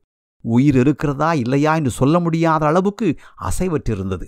அந்த சிறுமி கையை நீட்டி அவரிடம் பிச்சை கேட்டாள். ஜார்ஜ் முல்லர் அவளுக்கு பிச்சை போட்டவன் உன் பெற்றோர் எங்கே? நீ எங்கே வாழ்கிறாய்? என்று கேட்டார். அவள் என் அம்மா காலராவால் இறந்து விட்டாள். சுரங்க வேலைக்கு போன என் தந்தை சுரங்கத்திலிருந்து திரும்பி வரவில்லை என்று கூறினாள். அப்போது தேவனே அவருடைய முழங்கையில் தட்டி இதுதான் நீ செய்ய வேண்டிய ஊழியம். இதுதான் நீ ஊழியம் செய்ய வேண்டிய களம் என்று சொன்னது போல் இருந்ததாம். தான் ஊழியம் செய்ய வேண்டிய இடம் பெர்சியாவோ சீனாவோ அல்லது தொலைதூர இடங்களோ அல்ல. மாறாக இங்கு பிரிஸ்டலில் தன் கண்களுக்கு முன் இருக்கிறது என்பதை அவர் உணர்ந்தார். காலராவினால் அநேகர் இறந்ததால் ஏராளமான குழந்தைகள் அனாதைகளாகிவிட்டார்கள் என்பதை அவர் தெரிந்து கொண்டார். அநேக குழந்தைகள் தங்கள் இரு பெற்றோரையும் இழந்திருந்தார்கள். பலர் தாயை மட்டும் இழந்திருந்தார்கள். ஆனால் தாய் இல்லாமல் குழந்தைகளை பராமரிக்க முடியாததால் தந்தைமார்கள் குழந்தைகளை விட்டுவிட்டு போய்விட்டார்கள். அதனால் ஏராளமான குழந்தைகள் தெருக்களில் அனாதைகளாக சுற்றித் திருந்தார்கள். உணவுக்காக பிச்சை எடுத்தார்கள். தங்குவதற்கு இடமில்லாத பல குடும்பங்கள் இருந்தன. ஏனென்றால் தந்தை இறந்துவிட்டார் தாயால் குழந்தைகளை ஆதரிக்க முடியவில்லை வாடகை கொடுக்க முடியவில்லை.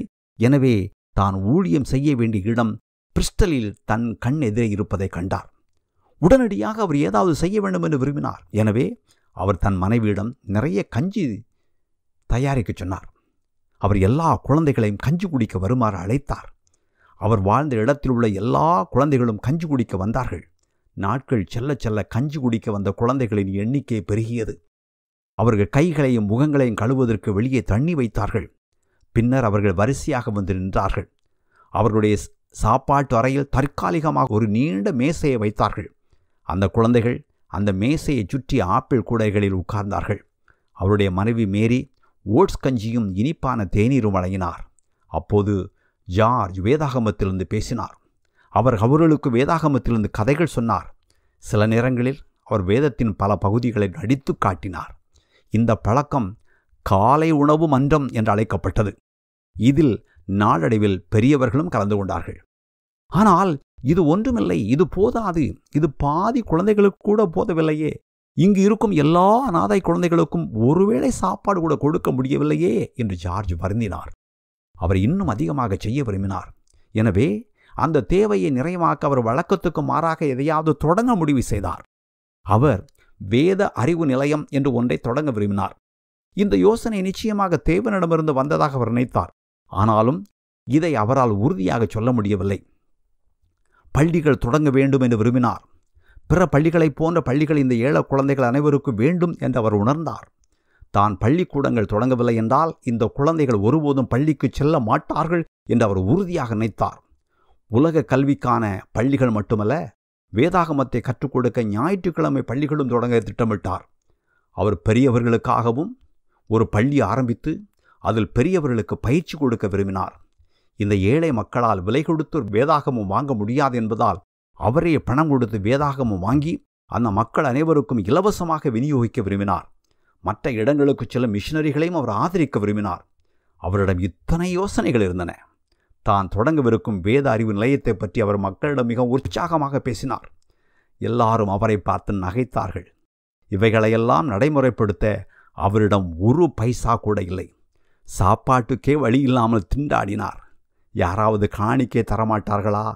யாராவது கொஞ்சம் ரொட்டி துண்டு தரமாட்டார்களா? என்ற நிலைமையில்தான் அவர் இன்னும் வாழ்ந்து கொண்டிருந்தார். இப்படிப்பட்ட நிலைமையில் இருப்பவர் பள்ளிக்கூடம் ஆரம்பிக்க வேண்டும் வேத அறிவு நிலையம் தொடங்க வேண்டும் முதியவர்களுக்கும் பயிற்சி பள்ளி ஆரம்பிக்க வேண்டும் என்று சொன்னால் பிறர் நகைக்காமல் வேறு என்ன செய்வார்கள்? தன் எண்ணங்கள் ஈடேறவில்லை என்பதால் ஜார்ஜ் கொஞ்சம் விரக்தி அடைந்தார். அவருடைய திட்டங்களை நிறைவேற்ற அவரிடம் பணம் இல்லை அவரிடம் எண்ணங்களும் திட்டங்களும் மட்டுமே இருந்தன. அவர் ஒரு நாள் விரக்தியோடு முழங்கால் படியிட்டு ஜெபித்தார். அவர் கர்த்தரை நோக்கி ஆண்டவரே இந்த எண்ணங்களும் திட்டங்களும் வெறுமனே என்னுடையவைகள்தானா? அல்லது இவைகள் உம்முடையவைகளா என்று நீர் எனக்கு காட்ட வேண்டும். இவை உம்முடையவைகள் என்றால் அதற்கு ஒரு அடையாளமாக நீர் எனக்கு யார் மூலமாவது இருபது பவுண்டுகள் அனுப்பித் தர வேண்டும். அந்த பணத்தை கொண்டு நான் உடனடியாக வேதாகமங்கள் வாங்கி இந்த ஏழை குடும்பங்களுக்கு கொடுக்க தொடங்குவேன் என்று சொன்னார். அவர் ஜெபித்து முடித்து எழுந்தபோது யாரோ ஒருவர் கதவை தட்டினார். அங்கு ஒரு பெண்மணி நின்று கொண்டிருந்தார். அவர் கையில் ஓர் உரை இருந்தது. அதை முல்லரிடம் கொடுத்து இது உங்களுக்கு பயன்படும் என்று நான் நினைக்கிறேன் என்று சொல்லி தன் கையில் இருந்ததை அவரிடம் கொடுத்தார். ஜார்ஜ் முல்லர் உடனடியாக தேவனுக்கு நன்றி சொன்னார். அவருடைய ஜெபத்திற்கு தேவன் உடனடியாக பதில் கொடுத்தார். அந்த பெண்மணி கொடுத்த உரையை அவர் அதுவரை திறந்து பார்க்கவில்லை. திறந்து பார்க்க தேவையில்லை. ஏனென்றால் அந்த உரையில் இருபது பவுண்டுகள் இருக்கும் என்று அவருக்கு தெரியும். ஆயினும் அவர் அந்த பெண்மணியிடம் இந்த பணத்தை நான் ஏதாவது ஒரு குறிப்பிட்ட காரியத்துக்கு பயன்படுத்த வேண்டும் என்று நீங்கள் விரும்புகிறீர்களா? என்று கேட்டார். அதற்கு அவள் ஐயா எனக்கு தெரியாது. உங்களுக்கு பல தேவைகள் இருக்கலாம். ஆனால் இந்த பணத்தை கொண்டு நீங்கள் சில வேதாகமங்கள் வாங்கி இந்த ஏழை குடும்பங்களுக்கு கொடுக்கலாம் என்று நான் நினைக்கிறேன் என்று சொன்னாள். எனவே தேவன் தன் ஜபத்தை கேட்டார் என்பதையும் தன் எண்ணங்களும் திட்டங்களும் வெறுமனே தன்னுடையவைகள் அல்ல மாறாக அவைகள் தேவனுடையவை என்பதையும் ஜார்ஜ் முல்லர் புரிந்து கொண்டார். தன் எண்ணங்கள் பரலோகத்திலிருந்து வந்தவை என்று அவர் திட்டவட்டமாக புரிந்து கொண்டார். இந்த யோசனை தேவனிடமிருந்தும் பரலோகத்திலிருந்தும் வந்தது என்று அவர் உறுதியாக நம்பியதால் அதற்கு தேவையான எல்லாவற்றையும் கர்த்தர் தருவார் என்று அவர் அறிந்திருந்தார். எனவே தன்னிடம் ஒரு பைசா கூட இல்லையே என்று அவர் கவலைப்படவில்லை. எப்படியாவது தேவன் எல்லாவற்றையும் வழங்குவார் என்பதை அவர் அறிந்திருந்தார். ஆம் கர்த்தர் கொடுத்தார். சில நேரங்களில் கர்த்தர் ஒரு சில பென்சில்கள் மட்டுமே கொடுத்தார். வேறு சில நேரங்களில் சில நாற்காலிகள் கொடுத்தார். சில நேரங்களில் மேஜையை நன்கொடையாக கொடுத்தார். இதுபோன்ற பல்வேறு காரியங்களை கர்த்தர் கொடுத்தார் கர்த்தர் செய்தார். சிலர் பணம் நன்கொடையாக வழங்கினார்கள். சிலர் கொஞ்சம் கொடுத்தார்கள் சிலர் அதிகம் கொடுத்தார்கள். கர்த்தர் கொடுத்த எல்லாவற்றையும் அவர் ஒரு புத்தகத்தில் மிக விவரமாக எழுதி வைத்தார். ஏனென்றால் அவை அனைத்தும் தேவன் தனக்கு தந்த நன்கொடை என்று அவர் உறுதியாக நம்பினார். இப்படியெல்லாம் நடந்து கொண்டிருந்த அதே நேரத்தில் அவருடைய குடும்பத்தில் ஒரு சோகம் நிகழ்ந்தது. அவருடைய இரண்டாவது குழந்தை எலியாவுக்கு அப்போது ஒரு வயது இருக்கும். அவன் நோய்வாய்ப்பட்டான். நோயுற்ற சில நாட்களில் அவன் இறந்து விட்டான். இது அவர்களுக்கு பெரும் துக்கமாக இருந்தது. அதே வாரத்தில் அவருடைய மனைவியின் தந்தையும் இறந்தார். எனவே ஒரே வாரத்தில் அவர்கள் இரண்டு இறுதிச் சடங்குகளை ஏற்பாடு செய்ய வேண்டியிருந்தது. இது அவர்களுக்கு மிகவும் கடினமாக இருந்தது. இதற்கு பின் ஜார்ஜ் மீண்டும் மிகவும் நோய்வாய்ப்பட்டார். மருத்துவர் அவரிடம் நீங்கள் உங்கள் வேலையெல்லாம் நிறுத்திவிட்டு இந்த ஊரை விட்டு கிராமப்புறத்துக்கு சென்று சற்று ஓய்வெடுங்கள். உங்கள் குடும்பத்தையும் அழைத்துச் செல்லுங்கள் என்று அறிவுறுத்தினார். மருத்துவர் சொன்னபடி அவர் எல்லாவற்றையும் நிறுத்திவிட்டு தன் குடும்பத்தோடு கிராமப்புறத்துக்கு சென்றார். ஹென்றி கிரைக்கை தனியாக விட்டுவிட்டு செல்வது அவருக்கு பிடிக்கவில்லை. அப்படி சென்றால் ஹென்றி நிறைய வேலைகளை செய்ய வேண்டியிருக்கும் என்பதை அவர் நினைத்து வருந்தினார். அவர் கிராமத்துக்கு சென்று ஓய்வெடுத்து கொண்டிருந்த போதும் அவர் ஒவ்வொரு நாளும் ஹென்றிக்காக ஜெபித்தார். கிராமத்தில் தங்கியிருந்த காலத்தை அவர் நன்றாக பயன்படுத்தினார். வேதத்தை நிறைய வாசித்தார். அதிகமாக படித்தார். அதிகமாக ஜெபித்தார். அவர் செய்த இன்னொரு காரியம் என்னவென்றால் அவர் பல பரிசுத்தவான்களை பற்றிய வாழ்க்கை வரலாறுகளை படித்தார். இந்த நேரத்தில் தான் அவர் ஜான் நியூட்டனின் வாழ்க்கை வரலாற்றையும் படித்தார்.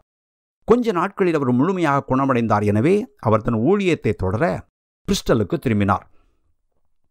அவருடைய பள்ளியில் இருந்த குழந்தைகளை அவர் கண்ணும் கருத்துமாக பார்த்து கொண்டார். அவருடைய பள்ளியில் இப்போது நூறு குழந்தைகளை சேர்ந்திருந்தார்கள். அவர் ஒரு நாள் பள்ளியில் இருந்த குழந்தைகளை பார்த்து கொண்டு வரும்போது ஒரு குழந்தை இல்லாததை கவனித்தார். வராத குழந்தையை குறித்து அவர் ஆசிரியர்களிடம் அந்த பையன் எங்கே? அவன் ஏன் இன்று வரவில்லை? என்று விசாரித்தார். அதற்கு ஆசிரியர் அவனுடைய குடும்பம் அரசு நடந்தும் பணிமனைக்கு போய்விட்டது என்று கூறினார்கள். அவர் ஓய்வெடுப்பதற்காக அந்த நகரத்தை விட்டு வெளியே போயிருந்த காலத்தில் நகரத்தின் சட்டம் மாறி இருந்தது என்பதை அவர் அறிந்தார். அரசாங்கத்திடம் பணமில்லை. எனவே அரசு வழக்கமாக ஏழைகளுக்கு கொடுத்த சலுகைகளையும் உதவித்தொகையையும் நிறுத்திவிட்டது. அதற்கு பதிலாக அரசு இதுபோன்ற பணிமனைகளை அமைத்து இந்த ஏழைகளை அங்கு தங்க வைத்தார்கள். ஏற்கனவே இதுபோன்ற பல பணிமனைகள் இருந்தன. ஆனால் அவைகள் போதாது என்பதால் இன்னும் பல பணிமனைகளை நிறுவினார்கள். இந்த பணிமனைகள் சுத்தமாக இருக்காது. ஆரோக்கியமான சூழல் அங்கு கிடையாது. மிக மோசமான சூழ்நிலை அங்கு நிலவியது. மக்கள் ஆடு மாடுகளைப் போல அடைத்து வைக்கப்பட்டார்கள்.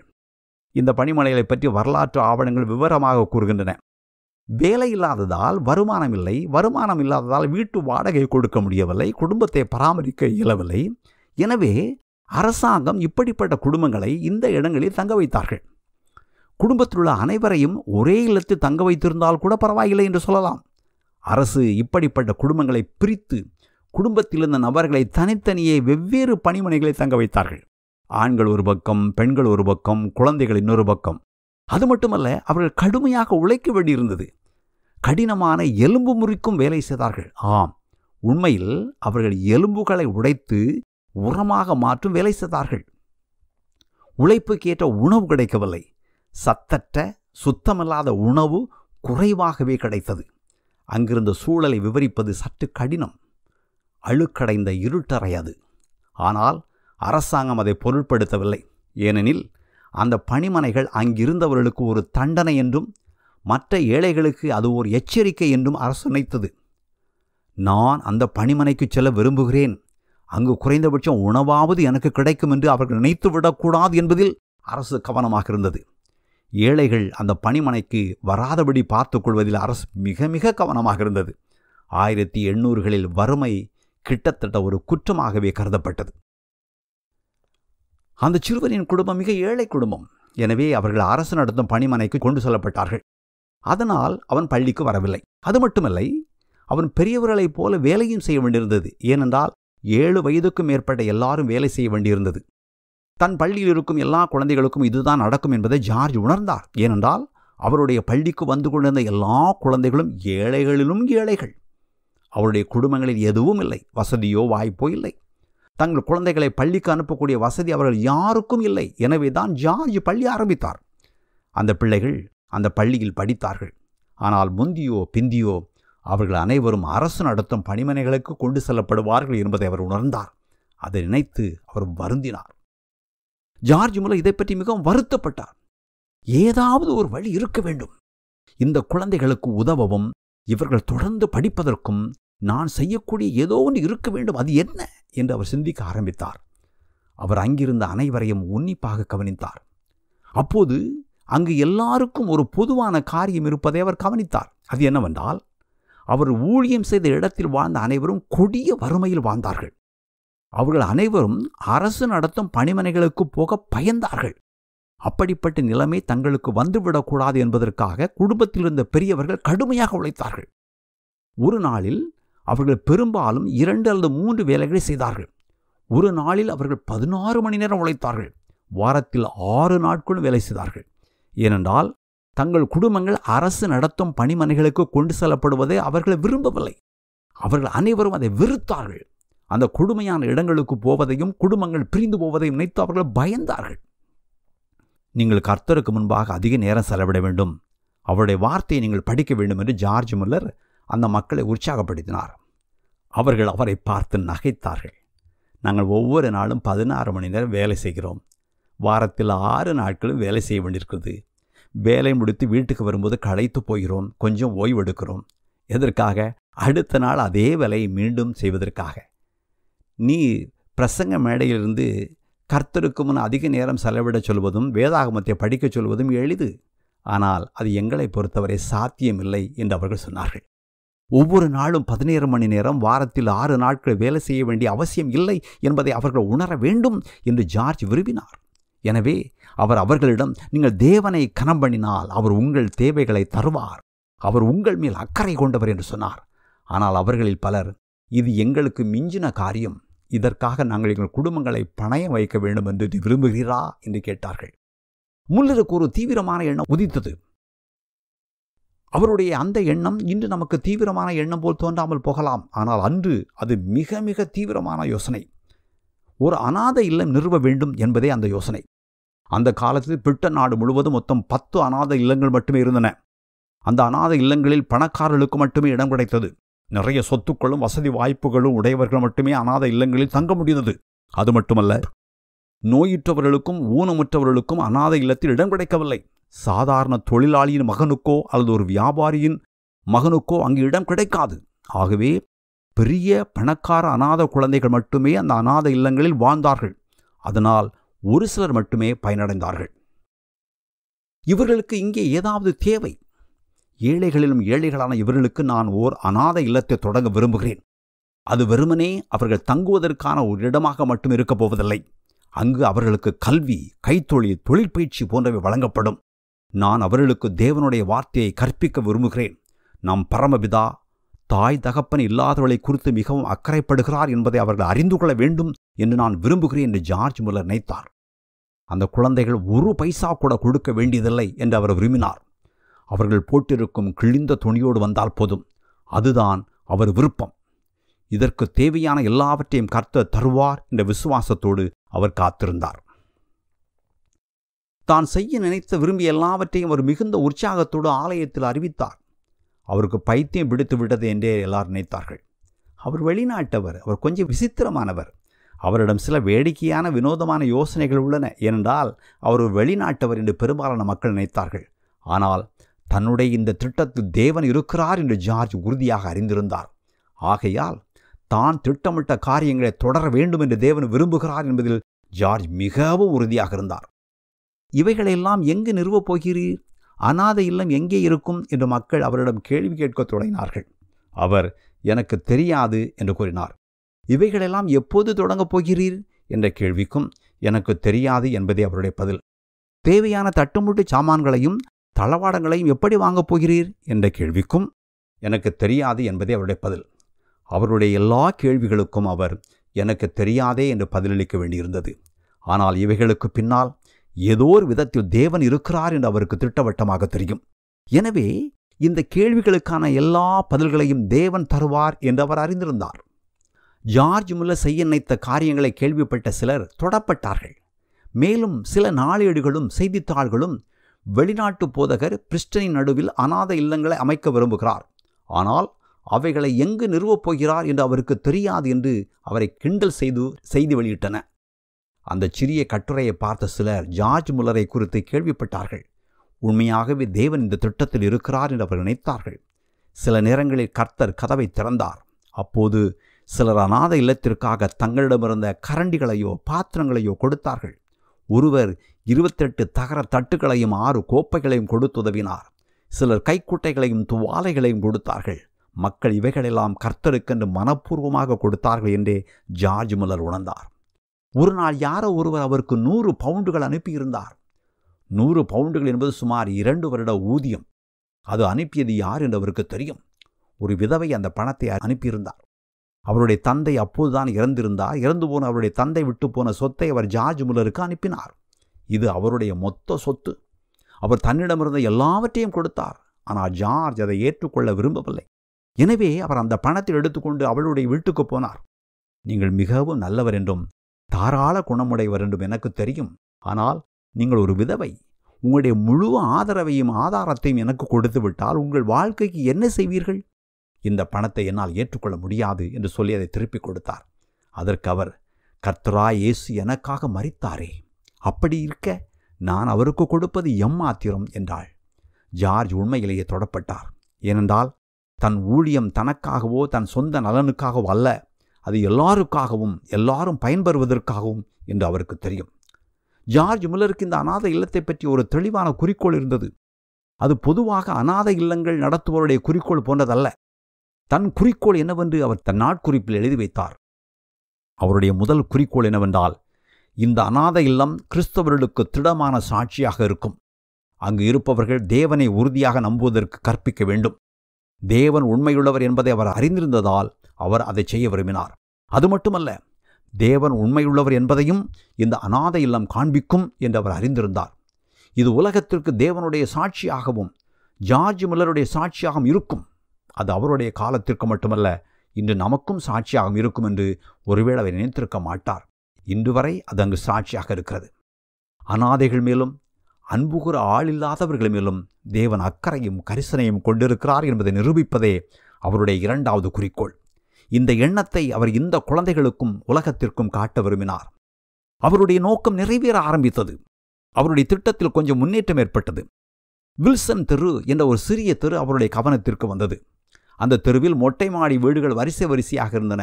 அந்த தெருவில் ஒரு சிறிய வீடு மூன்று மாடி வீடு விற்பனைக்கு இருந்தது.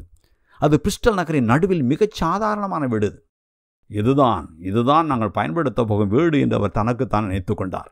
அது ஒரு சாதாரணமான வீடு. தரைதளத்தை சமையலறையாகவும் நடுத்தளத்தை எல்லாரும் புழங்குகிற அறையாகவும் மேற்தளத்தை படுக்கை அறையாகவும் பயன்படுத்தலாம் என்று அவர் நினைத்தார். மேற்தளத்தில் சில படுக்கை அறைகள் இருந்தன. அதில் பத்து பேர் தங்கலாம் என்று அவர் நினைத்தார். நம்முடைய தரத்தின்படி இதில் பத்து பேர் தங்க முடியாது. அது அவ்வளவு சிறியது. ஆனால் இது ஒரு ஆரம்பம் கர்த்தர் தருகிறார் என்று அவர் நினைத்தார்.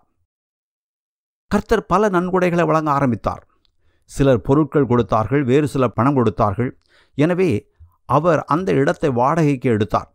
விரைவில் ஏழு வயது முதல் பனிரெண்டு வயது வரையிலான பெண் குழந்தைகள் அந்த அனாதை இல்லத்தில் பதிவு செய்யப்பட்டு அங்கு வாழத் தொடங்கினார்கள். இது அவரை பொறுத்தவரை ஒரு பெரிய படிக்கல். ஏனென்றால் ஒன்றுமில்லாமையில் இருந்து அவர் இந்த அனாதை இல்லத்தை தொடங்கினார். இப்போது எல்லாம் சரியாக நடக்க ஆரம்பித்திருந்தது. சில நேரங்களில் சிலர் ஐம்பது பவுண்டுகள் கொடுத்தார்கள். அது பெரிய பணம். ஆனால் ஒரு சந்தர்ப்பத்தில் தெருவில் அனாதையாக திரிந்த ஒரு சிறுவன் அவருடைய கையை பிடித்துக்கொண்டு ஒரு ஷில்லாங்கை கொடுத்து இதை ஒருவர் எனக்கு கொடுத்தார். ஒருவேளை இது உங்களுக்கு தேவைப்படலாம். உங்கள் அநாத இல்லத்தில் உள்ள பெண் குழந்தைகளுக்காக இதை வாங்கிக் கொள்ளுங்கள் என்று கொடுத்தான். இந்த விவரங்கள் எல்லாவற்றையும் அவர் தன் நாட்குறிப்பில் எழுதி வைத்தார். நூறு பவுண்டு கொடுத்தாலும் சரி ஒரு ஷில்லாங் கொடுத்தாலும் சரி பெரிய சிறிய தொகை எல்லாவற்றையும் மறக்காமல் விவரமாக எழுதி வைத்தார். முதல் ஆண்டில் மொத்தம் இருபத்தாறு சிறுமிகள் இருந்தார்கள். வீடு ஒழுங்காக இருந்தது ஆனால் மிகவும் நெரிசலாக இருந்தது. கிறிஸ்மஸ் பண்டிகையின் போது மேற்கிந்திய தீவுகளிலிருந்து யாரோ ஒருவர் அவர்களுக்கு வாழைப்பழங்களையும் ஆரஞ்சு பழங்களையும் அனுப்பியிருந்தார். இவைகளையெல்லாம் அந்த குழந்தைகள் அதுவரை பார்த்ததே இல்லை. இவ்வாறு கர்த்தர் அவர்களுக்கு வழங்கி கொண்டே இருந்தார். சில சமயங்களில் அவர் வெறுமனே அவருடைய தேவைகளை மட்டுமல்ல அவர்களுக்காக இன்னும் சில அதிகமான காரியங்களையும் செய்தார். நிறைய குழந்தைகள் அநாத இல்லத்துக்கு வர ஆரம்பித்தார்கள். ஒரு காவலர் தெருவில் நடந்து போகிறார் என்று வைத்துக்கொள்வோம் சிறுவர்கள் தெருவில் நடந்து செல்வதை அவர் பார்க்கிறார். தங்கள் பெயர் கூட அவர்களுக்கு தெரியாது. அவருடைய பெற்றோர் இறந்திருப்பார்கள் அல்லது அவர்களுக்கு ஏதோ நடந்திருக்கும். குடும்பத்தை கைவிட்டு விட்டு போயிருப்பார்கள். எனவே இந்த குழந்தைகள் தெருவுக்கு வர வேண்டிய நிலைமை ஏற்பட்டிருக்கும். தங்குவதற்கு வீடு கிடையாது கவனிப்பதற்கு ஆள் கிடையாது ஒதுங்குவதற்கு கூரை கிடையாது விசாரிக்க நாதி கிடையாது. வீடற்றவர்கள் அனாதைகள் நாதியற்றவர்கள். காவலர்கள் இவர்களை ஜார்ஜ் முலரே அனாதலத்துக்கு அழைத்து வந்தார்கள். எனவே அவர் தன் வேலையை விரிவுபடுத்த வேண்டும் என்று தீர்மானித்தார். கொஞ்ச நாட்களில் வில்சன் தெருவில் இன்னொரு வீடு வாடகைக்கு வந்தது. அவர் அதை வாடகைக்கு எடுத்து பச்சிளம் குழந்தைகளுக்காக பயன்படுத்தினார். ஏனென்றால் இரண்டு வயது மூன்று வயது குழந்தைகள் கூட அவரிடம் இருந்தார்கள். சில சமயங்களில் சில பெற்றோர்கள் பிறந்த குழந்தைகளை கூட அவரிடம் கொடுத்து விட்டு போய்விட்டார்கள். இவ்வாறு வந்து சேர்ந்த பல பச்சிளம் குழந்தைகளை அவர் பராமரிக்க வேண்டியிருந்தது. இன்னொரு வீட்டில் இருந்த கொஞ்சம் வளர்ந்த பிள்ளைகள் இந்த வீட்டுக்கு வந்து சிறு குழந்தைகளை கவனிக்க உதவினார்கள். ஆனாலும் அது இன்னும் போதுமானதாக இல்லை. ஏனென்றால் பல சிறுவர்கள் இன்னும் தெருக்களிலே சுற்றித் திரிந்தார்கள். வில்சன் தெருவில் இன்னொரு வீடு வாடகைக்கு வந்தது. அந்த வீட்டை அவர் வாடகைக்கு வாங்கினார். அந்த வீடு சிறுவர்கள் தங்குவதற்கு வசதியாக இருந்தது. இப்போது வில்சன் தெருவில் மூன்று வீடுகளில் மொத்தம் எண்பத்தோரு குழந்தைகள் வாழ்ந்தார்கள். இதை பற்றி இன்று நாம் ஒரு நிமிடம் யோசித்து பார்த்தால் மலைப்பாக இருக்கிறது. அங்கு வேலை பார்த்தவர்களுக்கு அவர் ஊதியம் கொடுக்க வேண்டும். அந்த குழந்தைகளை கவனிக்க எத்தனை ஆட்கள் இருந்திருப்பார்கள்? சாப்பாடு சமைக்க எத்தனை சமையல்காரர்களும் உதவிக்காரர்களும் இருந்திருப்பார்கள்? எல்லாருக்கும் சம்பளம் கொடுக்க வேண்டியிருந்திருக்கும். குழந்தைகளுக்கும் சிறுவர்களுக்கும் பால் தேநீர் ரொட்டி சர்க்கரை இறைச்சி உருளைக்கிழங்கு போன்ற எத்தனையோ உணவுப் பொருட்கள் ஒவ்வொரு நாளும் தேவைப்பட்டிருக்கும். அடுப்புக்கு நிலக்கரி தேவை. அடுப்புக்கு மட்டுமல்ல அது இங்கிலாந்தில் கடும் குளிர்காலம் வீடு சூடாக இல்லை என்றால் குளிரில் உறைந்து போவார்கள். எனவே தேவையான அளவுக்கு வீட்டை சூடாக வைக்கவும் நிலக்கரி தேவை. நிலக்கரி இல்லை என்றால் சமைக்க முடியாது. வீட்டில் நெருப்பு மூட்ட முடியாது. வீட்டுக்குள்ளேயே குளிரில் இறந்து விடுவோம். மூன்று வீடுகளுக்கும் வாடகை கொடுக்க வேண்டும். அத்தனை குழந்தைகளுக்கும் தேவையான உடைகள் வாங்க வேண்டும். ஏனென்றால் அவர்கள் தெருக்களில் திரிந்த குழந்தைகள் போட்டிருந்த கிழிந்த ஆடையோடு அங்கு வந்திருந்தார்கள். இவை அனைத்தையும் ஜார்ஜ் முல தேவனிடம் கையளித்தார். தேவன் அவருக்கு எல்லாவற்றையும் தவறாமல் வழங்கினார். குழந்தைகள் ஒரு நாள் கூட ஒருவேளை உணவு சாப்பிடாமல் இருந்ததே இல்லை. இப்படியெல்லாம் நடந்தது என்று இன்று நமக்கு தெரிகிறது. ஏனென்றால் அவர் எல்லாவற்றையும் தன் நாளேட்டில் விவரமாக எழுதி வைத்தார். அது மட்டுமல்ல அவர் கர்த்தருக்கு முன்பாக உண்மையும் உத்தமமாக வாழ்ந்தார். யாராவது ஒருவர் அவருக்கு பத்து பவுண்டுகள் கொடுத்து தயவு செய்து இதை சிறுமிகளுக்காக துணி வாங்க பயன்படுத்துங்கள் என்று சொன்னால் அவர் அதை சிறுமிகளுக்கு துணி வாங்குவதற்காகத்தான் பயன்படுத்தினார். நிலக்கரியோ அல்லது ரொட்டியோ அல்லது வேறு ஏதோ அவசரமாக தேவைப்பட்டாலும் அந்த பணத்தை அவர் தன் தேவைகளுக்கேற்ப பயன்படுத்தாமல் கொடுத்தவர் சொன்னபடியே பயன்படுத்தினார். ஏனென்றால் மக்கள் கொடுத்தவையெல்லாம் தேவனே நேரடியாக பரத்திலிருந்து அனுப்பியது என்று அவர் கருதினார். ஆனால் வெகு விரைவில் வில்சன் தெருவில் வாழ்ந்த மக்களிடமிருந்து புகார்கள் வரத் தொடங்கின. தங்கள் தெருவில் இப்போது நூற்றி இருபது குழந்தைகள் இருப்பதை அந்த குடியிருப்பில் வாழ்ந்தவர்கள் விரும்பவில்லை. குழந்தைகள் இருந்தால் சத்தம் இருக்கத்தான் செய்யும். குழந்தைகளின் சத்தத்தை குறைவாக வைத்துக்கொள்ள எவ்வளவோ முயன்ற போதும் அது சாத்தியமில்லாமல் போயிற்று. அவளுடைய மூன்று வீடுகளில் ஒரு வீடு அந்த தெருவின் மூலையில் இருந்தது முனையில் இருந்தது. அந்த வீட்டின் வெளியே ஒரு நல்ல புல்தரை இருந்தது.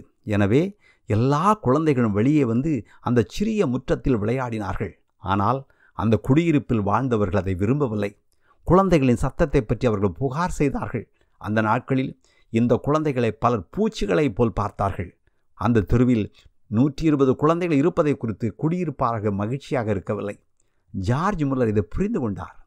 தன் குழந்தைகளுக்கென்று தனி இடம் இருப்பது மிகவும் நல்லது என்று வர்ணித்தார் அப்படி பிரத்யேகமான இடம் இருந்தால் சிறுவர்கள் தாராளமாக சுற்றி ஓடலாம். சிறுமிகளுக்கு இன்னும் கொஞ்சம் தாராளமான இடம் கிடைக்கும். இவ்வளவு நெருக்கமாக இருக்க வேண்டிய தேவை இருக்காது. பசுமையான காற்றையும் சுவாசிக்கலாம் என்று வர்ணித்தார் இப்படிப்பட்ட லட்சிய யோசனை அவரிடம் இருந்தது. பிரிஸ்டலுக்கு வெளியே கிராமத்தில் அவர் நிலம் வாங்க விரும்பினார். அது மட்டுமல்ல கட்டப்போகும் கட்டிடங்கள் வில்சன் தெருவில் குடியிருக்கும் மொட்டை மாடி வீடுகளைப் போன்றவை அல்ல. மாறாக அந்த கட்டிடங்கள் குழந்தைகளுக்கென்று பிரத்யேகமாக வடிவமைக்கப்பட வேண்டும் அது அவர்களுக்கு ஏற்றதாக இருக்க வேண்டும் என்று அவர் விரும்பினார். இதை எப்படி செய்வது என்று அவருக்கு தெரியாது. ஏனென்றால் நூற்றி இருபது குழந்தைகளை வேறு இடத்துக்கு மாற்ற வேண்டும் நிலம் வாங்க வேண்டும் கட்டடங்களை கட்ட வேண்டும் இவைகளெல்லாம் செய்வதற்கு பல்லாயிரக்கணக்கான பவுண்டுகள் தேவை. இதை குறித்து அவர் பல மாதங்கள் ஜிபித்தார். இது பேராசை போல் தோன்றியது. ஆனால் அவர் ஜெபித்தார். அவர் ஒரு நாள் மிகவும் பாரத்தோடு ஊக்கமாக ஜெபித்து முடித்தவுடன் ஆண்டவரே நான் இங்கே வெறுமனே யோசனைகளை உருவாக்கவில்லை. மாறாக இந்த யோசனைகள் எல்லாம் உம்மிடமிருந்தே வந்தன என்பதற்கான தெளிவான அடையாளத்தை நீர் எனக்கு தர வேண்டும் என்று தேவனிடம் கூறினார். கர்த்தர் அவருடைய ஜெபத்திற்கு பதிலளித்தார். ஒருவர் ஆயிரம் பவுண்டுகள் அடங்கிய ஒரு உரையை அவருக்கு அனுப்பினார். அந்த நாட்களில் அது மிகப்பெரிய தொகை. அது பல வருட ஊதியம். எனவே இது தேவனுடைய விருப்பம் என்பதற்கு அது ஒரு மிகப்பெரிய அடையாளமாக இருந்தது. அந்த தொகை போதாது ஆனால் அது ஒரு நல்ல அடையாளம். ஒரு நாள் ஜார்ஜ் மில்லர் அவருடைய மனைவி மேரிவின் உறவினர் ஒருவரை தற்செயலாக சந்தித்தார். தன் தேவை என்னவாக இருந்தாலும் ஒருபோதும் ஒருவரிடமும் எதையும் கேட்கக்கூடாது என்ற ஒரு கோட்பாடு ஜார்ஜ் மில்லர் வைத்திருந்தார். அவர் இந்த நபருடன் பேசி கொண்டிருந்தபோது தான் ஒரு வீட்டை கட்டப்போவதாகவும் அதை கட்டுமாறு தேவன் தன்னிடம் சொன்னதாகவும் அவரிடம் சொன்னார். ஆனால் அதற்கு தனக்கு உதவி தேவை என்று அவர் சொல்லவில்லை.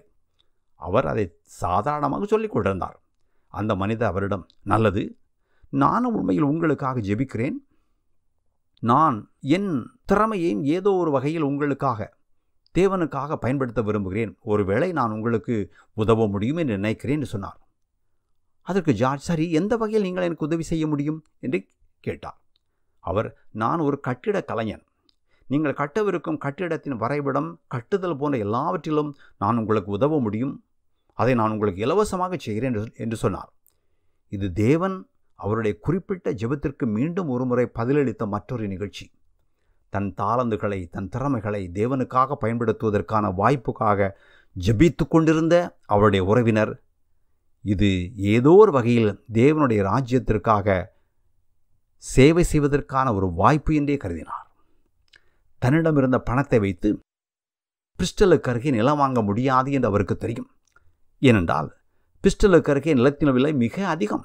ஆனால் ஓர் இடம் இருந்தது. அந்த நிலம் தான் விரும்பியபடி கட்டுவதற்கேற்ற சரியான இடம் என்று ஜார்ஜ் முல்லர் கருதினார். அந்த நிலத்தின் உரிமையாளர் அங்கு இருந்தார். அங்கு நிறைய நிலம் இருந்தது. ஆனால் தன் திட்டத்தின்படி எல்லாவற்றையும் கட்ட நிறைய நிலம் தேவையில்லை என்றும் ஏழு ஏக்கர் நிலம் போதும் என்றும் ஜார்ஜ் நினைத்தார். ஏழு ஏக்கர் பெரிய இடம்தான். அந்த நிலத்துக்கு சொந்தக்காரர் ஓர் ஏக்கருக்கு இருநூறு பவுண்ட் என்று சொன்னார். அவர் சொன்னபடி அந்த நிலத்தை வாங்க போதுமான பணம் ஜார்ஜ் முல்லரிடம் இல்லை. முல்லர் இந்த காரியத்தை தேவனிடம் கொண்டு போனார். அன்றிரவு அந்த நிலத்துக்கு சொந்தக்காரருக்கு தூக்கம் வரவில்லை.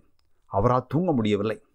கர்த்தர் அவரை தூங்க விடாமல் குத்தி கொண்டிருப்பது போல் அவர் உணர்ந்தார்.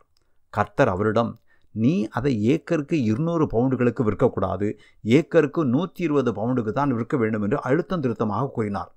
விடியற் காலையில் நடுக்கத்தோடு அந்த மனிதன் ஜார்ஜ் முலரிடம் வந்து இருநூறு பவுண்டுகளை மறந்து விடுங்கள் ஏக்கருக்கு நூற்றி இருபது பவுண்டுகள் தான் என்று கூறினார். ஜார்ஜ் மிகவும் ஆச்சரியப்பட்டார். அவர் மீண்டும் தயவு செய்து தயவு செய்து ஏற்றுக்கொள்ளுங்கள் ஏனென்றால் கர்த்தர் இதை எனக்கு தெரிவித்தார். இரவில் நான் நிம்மதியாக உறங்க விரும்புகிறேன் என்று கூறினார். ஏக்கருக்கு நூற்றி இருபது பவுண்டுகள் என்றால் ஏழு ஏக்கர் நிலம் வாங்க அவரிடம் போதுமான பணம் இருந்தது. எனவே ஜார்ஜ் மிகவும் மகிழ்ச்சி அடைந்தார். அவர் அந்த நிலத்தை வாங்கினார். அவர் வாங்கிய நிலம் ஆஷ்லே டவுன்ஸ் என்று அழைக்கப்பட்டது. இந்த நிலம் ஒரு ஆரம்பம். கட்டிட கலைஞரின் உதவியுடன் விரைவில் எல்லாரும் எதிர்பார்த்ததை விட அழகான ஒரு கட்டிடம் எழும்பியது. அவர் அப்போது தன்னிடமிருந்த நூற்றி இருபது குழந்தைகளுக்காக மட்டுமல்ல முன்னூறு பேர் தங்கக்கூடிய அளவுக்கு அது பெரிய கட்டிடம். விரைவில் மக்கள் இதை பற்றி கேள்விப்பட்டார்கள். பிரிஸ்டலில் உள்ளவர்கள் மட்டுமல்ல அண்டை நகரங்களில் உள்ள மற்றவர்களும் இதை பற்றி கேள்விப்பட்டார்கள். விரைவில் இங்கிலாந்து முழுவதுமிருந்து அனாதை குழந்தைகள் ஆஷ்லே டவுன்ஸுக்கு வர ஆரம்பித்தார்கள். அவருடைய சேவை விரிவடைந்தது. முன்னூறுக்கும் அதிகமான குழந்தைகள் வர ஆரம்பித்தார்கள். எனவே அதிகமான கட்டிடங்கள் தேவைப்பட்டன. குழந்தைகளை மனதில் வைத்து அவர்களுக்கு ஏற்றாற்போல கட்டிடங்களை வடிவமைத்தார்கள். பாலர்களுக்கு ஒரு கட்டிடம் துணிகள் சலவை செய்வதற்கு ஒரு இடம் ஒரு பெரிய சமையலறை ஒரு பெரிய சாப்பாட்டு அறை தையல் கற்றுக்கொள்வதற்கு ஒரு இடம் படிப்பதற்கு அறைகள் எல்லா குழந்தைகளும் தங்கள் துணிகளை தொங்க விடுவதற்கேற்றாற்போல் சுவர்களில் சிறு சிறு ஏற்பாடுகள் அறைகள் மிகவும் ஒழுங்காக இருந்தன. எல்லாவற்றையும் மனதில் கொண்டு கட்டிடங்கள் வடிவமைக்கப்பட்டன. குழந்தைகள் விளையாடுவதற்கு புல்தரையில் ஊஞ்சலும் வேறு பல விளையாட்டுப் பொருட்களும் வைத்திருந்தார்கள். மருத்துவ உதவிக்காக ஒரு இடம். இப்படி கட்டிடங்கள் கட்டப்பட்டன. அவருடைய பணிவிடை விரிவடைந்தது. தேவை அதிகமாயிற்று. ஒரு கட்டிடத்தில் ஆரம்பித்து இரண்டு மூன்று என்று அதிகரித்து இப்போது ஐந்து கட்டிடங்கள் இருந்தன. இரண்டாயிரத்துக்கும் அதிகமான குழந்தைகள் இருந்தார்கள். இரண்டாயிரம் பேர் இருந்தும் நெரிசலாக இல்லை. சௌகரியமாகவே வாழ்ந்தார்கள். இந்த குழந்தைகள் மேல் உண்மையான அக்கறை கொண்ட நூறு விசுவாசிகள் அவர்களை கவனித்துக் கொண்டார்கள். முல்லரின் ஊழியத்தில் உண்மையாகவே தேவன் இருக்கிறார் என்பதை அவர்கள் பார்த்தார்கள். சில நேரங்களில் அங்கு வேலை செய்த விசுவாசிகள் ஜார்ஜ் முல்லரின் வேலைக்கு தங்கள் சம்பளத்தையே கொடுத்து விட்டார்கள். இவர்கள் தங்களையும் கொடுத்தார்கள் தங்களுடையதையும் கொடுத்தார்கள். சில நேரங்களில் குழந்தைகளுக்கு ரொட்டி இல்லாமல் போனால் இந்த வேலையாட்கள் தங்கள் சொந்த பணத்தை செலவழித்து அவர்களுக்கு ரொட்டி வாங்கி கொடுத்தார்கள். இப்படிப்பட்ட நேரங்களும் இருந்தன. இவர்கள் அங்கு தாங்கள் பணத்துக்காக வேலை செய்ததாக நினைக்கவில்லை. அவர்கள் தேவனுக்கு பணிவிடை செய்வதாக நினைத்தார்கள். அவர்கள் தங்கள் பணிவிடையில் தேவனை கனம் பண்ணினார்கள். இவைகளுக்கும் அப்பாற்பட்டு ஜார்ஜ் முல்லரையும் அவருடைய வேலையும் பற்றி சில வதந்திகள் பரவத் தொடங்கியிருந்தன. ஜார்ஜ் முல்லரின் அனாதை இல்லம் ஒரு பயங்கரமான இடம் என்றும் அந்த இடம் முழுவதும் எலிகள் ஓடுகின்றன என்றும் அங்கிருக்கும் குழந்தைகள் பாதி பட்டினி கிடக்கிறார்கள் என்றும் அவர்கள் ஆரோக்கியமாக இல்லதார் அவருடைய தலையில் பெண்களெல்லாம் நிறைய இருப்பதாகவும் வதந்திகள் பரவின. ஜார்ஜ் முல்லர் குழந்தைகளை அடிமை போல் நடத்தினார் என்றும் சொன்னார்கள். அவருடைய அதிகாரத்தின் கீழ் இரண்டாயிரம் அடிமைகள் இருப்பதாகவும் அவர் அதிகார வெறியுடையவர் என்றும் அநாத இல்லத்துக்காக வரும் நன்கொடைகளை அவர் தவறாக பயன்படுத்துவதாகவும் அவைகளை தனக்காக செலவிடுவதாகவும் வதந்திகள் பரவின. ஜார்ஜ் முலரையும் ஆஷ்லே டவுன்ஸையும் மக்கள் சந்தேக கண்ணோடு பார்க்க தொடங்கினார்கள். மக்கள் அவரை பற்றியும் ஆஷ்லே டவுன்ஸை பற்றியும் கட்டுரைகள் எழுதினார்கள். இந்த சங்கதிகளெல்லாம் அந்த நாட்களில் மிகவும் பிரபலமான ஒரு நபரின் கவனத்திற்கு வந்தன. இந்த நபர் இங்கிலாந்தில் அனாதைகளின் அவல நிலையை குறித்த விழிப்புணர்வை ஏற்படுத்த அரும்பாடுபட்டார். பிரிட்டனில் பணக்காரர்கள் மிகவும் பணக்காரர்களாகவும் ஏழைகள் மிகவும் ஏழைகளாகவும் இருந்தார்கள். இது ஒரு பெரிய பிரச்சனை. இந்த மனிதர் இந்த அவலத்தை குறித்தும் நிறைய எழுதினார். அவருடைய எழுத்துக்கள் மக்களுடைய கவனத்தை ஈர்த்தன. மக்கள் அவர் சொன்ன காரியங்களை குறித்து சிந்திக்க ஆரம்பித்தார்கள். அவருடைய மிக பிரபலமான ஆலிவர் ட்விஸ்ட் என்ற கதை உங்களை சிலருக்கு தெரிந்திருக்கலாம். அவருடைய பெயர் சார்ல்ஸ் டிக்கன்ஸ்.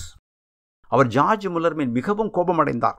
இந்த அநாத குழந்தைகளை தன் கட்டுப்பாட்டில் வைத்திருப்பதற்கும் அவர்களை இப்படி கேவலமாக நடத்துவதற்கும் இவருக்கு எவ்வளவு தைரியம்? என்று அவர் கோபம் அடைந்தார் எனவே பிரிஸ்டலில் உள்ள ஆஷ்லே டவுன்ஸுக்கு சென்று அநாத இல்லங்களை பார்வையிடவும் ஜார்ஜ் முல்லரை நேரில் சந்தித்து பேசவும் சார்ல்ஸ் டிக்கன்ஸ் முடிவு செய்தார். பிரபல எழுத்தாளரான சார்ல்ஸ் டிக்கன் ஆஷ்லே டவுன்ஸுக்கு வருவதை ஜார்ஜ் முல்லர் அறிந்தபோது மிகவும் மகிழ்ச்சி அடைந்தார். ஜார்ஜ் முல்லரை கிழித்தறிய வேண்டும் என மனப்பாங்கோடு சார்ல்ஸ் டிக்கன்ஸ் ஜார்ஜ் முல்லரை சந்திக்க பிரிஸ்டலுக்கு வந்தார். முல்லர் அங்கு வேலை செய்த ஒரு வேலையாளை கூப்பிட்டு சாவி கொத்தை அவரிடம் கொடுத்து இதோ சாவி கொத்து எல்லா இடங்களுக்கும் சார்ஜ் டிக்கன்ஸை அழைத்துச் செல்லுங்கள். அவர் அலமாரியில் பார்க்க விரும்புவதாக கூறினார். அதை அவருக்கு திறந்து காண்பீங்கள். நீங்கள் அவரை எல்லா கொட்டகைகளுக்கும் சாமான் அறைகளுக்கும் பிற அறைகளுக்கும் அழைத்துச் செல்லுங்கள். அவர் எங்கு போக விரும்பினாலும் அவரை கூட்டு கொண்டு போய் எல்லாவற்றையும் காட்டுங்கள் என்று சொன்னார். எனவே டிக்கன்ஸு அந்த பணியாளரோடு போனார். மூன்று மணி நேரம் கழித்து அவர் திரும்பி வந்தார். அவரால் தன் கண்களை நம்ப முடியவில்லை. ஜார்ஜ் முல்லரையும் அந்த அநாத இல்லங்களையும் பற்றி எப்படி இவ்வளவு பொய்யான தவறான வதந்திகளை பரப்ப முடியும் என அவர் நினைத்து அதிர்ச்சி அடைந்தார். அவர் அங்கு ஒழுங்கையும் அமைதியையும் கண்டார். அவர் குளியல் அறைக்கு சென்று பார்த்தார். கழிவறைக்கு சென்று பார்த்தார். குளியல் அறைகளிலும் கழிப்பறைகளிலும் எல்லா குழந்தைகளும் தங்கள் சாமான்களை தொங்கவிட சுவர்களில் இடம் இருப்பதை கண்டார். சிறுமிகள் ஒவ்வொருவருக்கும் மூன்று ஜோடி காலணிகள் இருப்பதையும் அவள் அனைவருக்கும் குளிர்காலத்தில் அணிவதற்கு கம்பளி ஆடைகளும் கோடை காலத்திற்கென தனியாடையும் சிறுவர்கள் மற்ற பள்ளிகளில் சொல்லிக் கொடுப்பது போல் வெறும் பாரம்பரிய கல்வியை மட்டுமல்ல மரவேலை போன்ற தொழிற்கல்வியையும் கற்றுக்கொண்டிருந்ததை அவர் பார்த்தார். பாலர்களுக்காக ஒரு பாலர் பள்ளி மிக நேர்த்தியாக அமைக்கப்பட்டிருப்பதை அவர் பார்த்தார். பொம்மைகள் வைப்பதற்கு தனி பெட்டிகள் இருந்தன. ஒவ்வொரு குழந்தையும் தான் விரும்பும் சிறிய பொம்மைகளை வைப்பதற்கு சிறிய துளைகள் இருந்தன. அவர்கள் தங்கள் பொம்மைகளை அந்த துளைகளிலே வைத்தார்கள். குழந்தைகள் அனைவருக்கும் உணவு வழங்கப்பட்டது. அங்கிருந்த பணியாட்கள் இந்த குழந்தைகளை கவனிப்பதை ஒரு வேலையாய் செய்யாமல் இந்த குழந்தைகளை உண்மையாகவே நேசித்தார்கள். டிக்கன்ஸ் மிகவும் கோபமடைந்தார். ஆம் ஜார்ஜ் முல்லரையும் அவருடைய அநாத இல்லத்தையும் பற்றி வதந்திகளை பரப்பியவர்கள் மேல் அவர் கோபமடைந்தார். எனவே அவர் உடனடியாக சென்று மிகவும் பிரபலமான தன் பத்திரிகையில் ஒரு கட்டுரை எழுதினார். ஜார்ஜ் முல்லருக்கு எதிரான தவறான எல்லா வதந்திகளையும் தவிடுபடியாக்கி அவர் ஒரு கட்டுரை எழுதினார். இரண்டாயிரம் அநாத குழந்தைகள் இருந்தார்கள். இத்தனை குழந்தைகளை பராமரிக்க அவருக்கு எவ்வளவு தேவைகள் இருந்திருக்கும் என்று எண்ணி பாருங்கள். ஜார்ஜ் முல்ல தன் தேவைகளை எந்த மனிதனிடமும் சொல்வதில்லை என்ற கோட்பாடின்படி வாழ்ந்ததால் பணப்பற்றாக்குறை இருந்தது. ஆனால் கர்த்தர் உண்மையுள்ளவர் என்பதையும் கர்த்தர் தேவைக்கேற்ப ஏற்ற விலையில் தருவார் என்பதையும் அனைவருக்கும் காண்பிக்கும் வகையில் அவர் அப்படி வாழ விரும்பினார். ஒரு எடுத்துக்காட்டு சொல்ல விரும்புகிறேன். ஒரு நாள் அநாத இல்லத்தில் அவர்களுக்கு சாப்பிடுவதற்கு ஒன்றுமில்லை. பத்து பைசா கூட இல்லை. அவர்களால் ஒன்றும் வாங்க முடியவில்லை. முன்னூறு குழந்தைகள் காலை உணவுக்காக வரிசையில் வந்து நின்றார்கள். அவரவர் தங்கள் மேஜைக்கு முன் வந்து தங்கள் சிறிய நாற்காலியின் பின்னால் நின்றார்கள். ஆனால் அவர்களுக்கு முன்னால் இருந்த கிண்ணமும் கோப்பையும் காலியாக இருந்தன. ஜார்ஜ் முலர் இதை பற்றி சலனப்படவில்லை. அவர் குழந்தைகளிடம் பரலோக தகப்பன் உங்கள் பரலோக தகப்பன் திக்கற்ற உங்கள் மேல் மிகவும் அக்கறை கொண்டவர் என்பதை இன்று நீங்கள் காண்பீர்கள். அதை நீங்கள் இன்று உங்கள் சொந்த கண்களால் பார்க்க போகிறீர்கள் என்று சொன்னார். அவர் இல்லாத காலை உணவுக்காக தேவனுக்கு நன்றி சொன்னார். அவர்கள் அனைவரும் அங்கே அமர்ந்தனர். அவர் தேவனுக்கு நன்றி தெரிவித்து தேவனுடைய ஏற்பாட்டிற்காக நன்றி சொல்லி முடித்தவுடன் யாரோ ஒருவர் கதவை தட்டும் சத்தம் கேட்டது. ஒரு ரொட்டி கடைக்காரர் அங்கு நின்று கொண்டிருந்தார். அவர் கொஞ்சம் கலக்கத்தோடு காணப்பட்டார். அவர் கொஞ்சம் சங்கடத்துடனும் இருந்தார். அவர் முல்லரிடம் சென்று நேற்று இரவு என்னால் தூங்க முடியவில்லை. அதனால் நான் அதிகாலை ரெண்டு மணிக்கு எழுந்து ரொட்டி செய்ய ஆரம்பித்தேன். ஒருவேளை அவை உங்களுக்கு தேவைப்படலாம் என்று கூறினார். முல்லர் ஆச்சரியப்படவில்லை. இந்த மனிதன் மூலம் தேவன் ரொட்டி தந்ததற்காக அவர் தேவனுக்கு நன்றி சொன்னார். அவர் கொண்டு வந்திருந்த சூடான ரொட்டியை குழந்தைகளுக்கு கொடுத்து குழந்தைகளே கர்த்தர் நம் தேவைகளை தருகிறவர் மட்டுமல்ல அவர் நமக்கு இருமடங்கு ஆசீர்வாதம் தந்திருக்கிறார். புதிய ரொட்டியும் தந்திருக்கிறார் அதையும் சுட சுட தந்திருக்கிறார் என்று சொன்னார். ரொட்டிக்காரர் போன கொஞ்ச நேரத்துக்கு பின் இன்னொருவர் வந்து கதவை தட்டினார். கதவை திறந்தபோது அங்கு ஒரு பால்காரர் பதற்றத்துடன் நின்று கொண்டிருந்தார். அவர் ஜார்ஜ் முல்லரிடம் மிஸ்டர் முல்லர் தயவு செய்து உங்களுடைய இல்லத்திலிருந்து சில பெரிய பையன்களை என்னோடு அனுப்ப முடியுமா? அவருடைய உதவி எனக்கு தேவைப்படுகிறது. என் பால் வண்டியின் சக்கரம் உடைந்து விட்டது. என் வண்டி சக்கரத்தை சரி செய்ய வேண்டுமானால் முதலாவது என் வண்டியில் உள்ள சரக்குகளை எல்லாம் கீழே இறக்க வேண்டும். வண்டியில் இருக்கிற பால் உங்களுக்கு தேவைப்படுமா? என்று கேட்டார். சில சிறுவர்கள் அவருடன் சென்று வண்டியில் உள்ள பால் கேன்களை எல்லாம் இறக்கினார்கள். அன்று அவர்களுக்கு பால் கேன்கள் கிடைத்தன. அவர்கள் அனைவருக்கும் புத்தம் புதிய பால் கிடைத்தது. அன்று காலை அந்த பால் முன்னூறு குழந்தைகளுக்கும் வழங்கப்பட்டது. அவருடைய உடன் ஊழியக்காரராகிய ஹென்றி கிரைக் அறுபதாவது வயதில் காலமானார்.